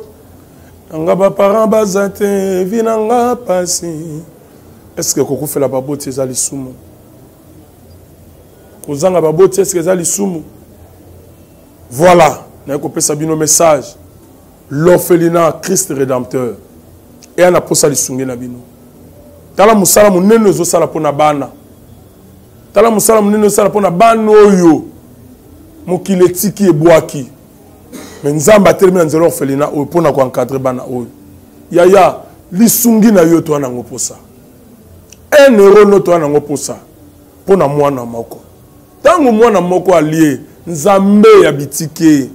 oyo apermettre ete na nzela no mwana oyo alia akobosana yo te voilà message ya l'orphelina christ rédempteur toza na besoin lisungi na bino banimero eza na se kota contact na biso assistance na yo ekozala lisungi mpo na bana que le dieu des orphelins abénir diama motu nyonso ozwi ata likanisi ya kosala quelque chose mpe osali yango nzambe apambola bino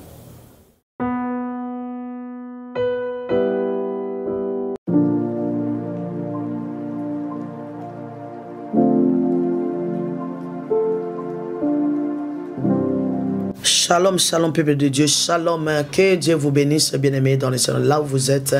c'est bien moi encore, Maman Esther Moukou, bien-aimée dans le Seigneur. tika nzambe apambola bino na mabota na bino nyonso nzambe akanisela bino oyo mitema na bino ezoluka tika nzambe azala nzambe na bino tous les jours sans plus tarder, nous allons parler de la part de Dieu. Notre thème d'aujourd'hui, celui qui demeure dans ma parole, il ne verra jamais la mort. Bien aimé, nous allons lire la parole de Dieu dans les livres de Jean chapitre 8, verset 51. Je lis par la grâce de Dieu. En vérité, en vérité, je vous l'ai dit, si quelqu'un garde ma parole, il ne verra jamais la mort. Bien-aimé dans le Seigneur, celui qui garde la parole de Dieu, il verra jamais la mort. La mort que Dieu parlait dans cette verset, bien-aimé dans le Seigneur, la mort spirituelle. Bien-aimé, sans la parole de Dieu, nous sommes morts. Bien-aimé, la parole qui nous protège, parce que nous sommes le fruit de la parole. moto fruit parole Abumba ya parole bien-aimé il a dit dans sa parole celui qui demeure sous l'abri du Très repose à l'ombre du Tout-Puissant. bien aimé dans le Seigneur, c'est la parole qui nous garde, c'est la parole qui nous a créés, c'est la parole qui nous donne la vie. Dès le commencement, bien aimé dans le Seigneur, il a dit, au commencement était la parole, la parole était avec Dieu et la parole c'est lui-même Dieu. Il faut aimer la parole dans tout ton cœur, bien-aimé dans le Seigneur, parce que la parole qui nous protège, la parole qui nous garde, qui nous donne l'accès de rentrer dans notre bénédiction, bien-aimé dans le Seigneur. semble que nalinga mais parole bien-aimé dans le Seigneur, tu te trompes. Parce que Dieu et sa parole, il est un. Dès le commencement, il a dit, au commencement était la parole. La parole était avec Dieu et la parole c'est lui-même Dieu. Donc quand vous avez le olingi nzambe ça veut dire olingi Malobalanzambe, olingi ye parce que lui et sa parole il est un bien-aimé dans le Seigneur comme Jésus a dit Jean chapitre 10 verset 30 moi et mon père nous sommes un tu peux pas partager la parole avec Dieu la parole est avec Dieu, il est un. Bien-aimé dans le Seigneur, bien-aimé dans le Seigneur, bien-aimé, l'unique et le véritable Jésus-Christ a besoin que nous commençons à comprendre vraiment la révélation qui est cachée dans la parole. Il a dit Dieu ne fait rien sans révéler. Il va révéler par rapport à quoi Par rapport à sa parole, bien-aimé dans le Seigneur, il va nous révéler des choses cachées. Bien-aimé dans le Seigneur, la parole de Dieu dit même dans les livres de Jean chapitre 6, verset 63, c'est l'esprit qui vivifie, la chair ne sert à rien. Mais dans la partie B,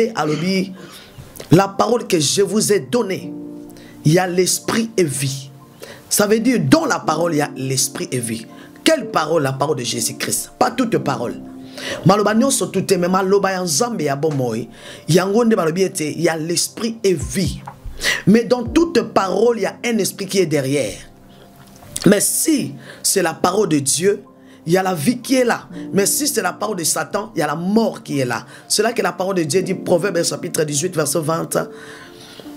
la vie et la mort sont en pouvoir de la langue.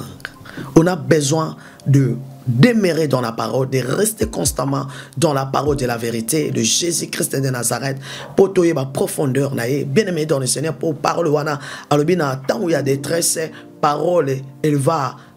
nous défendre, parole, il va nous protéger, bien-aimés, dans le Seigneur. Celui qui a la parole de la vie, celui qui est l'unique et le véritable, et comparable Jésus,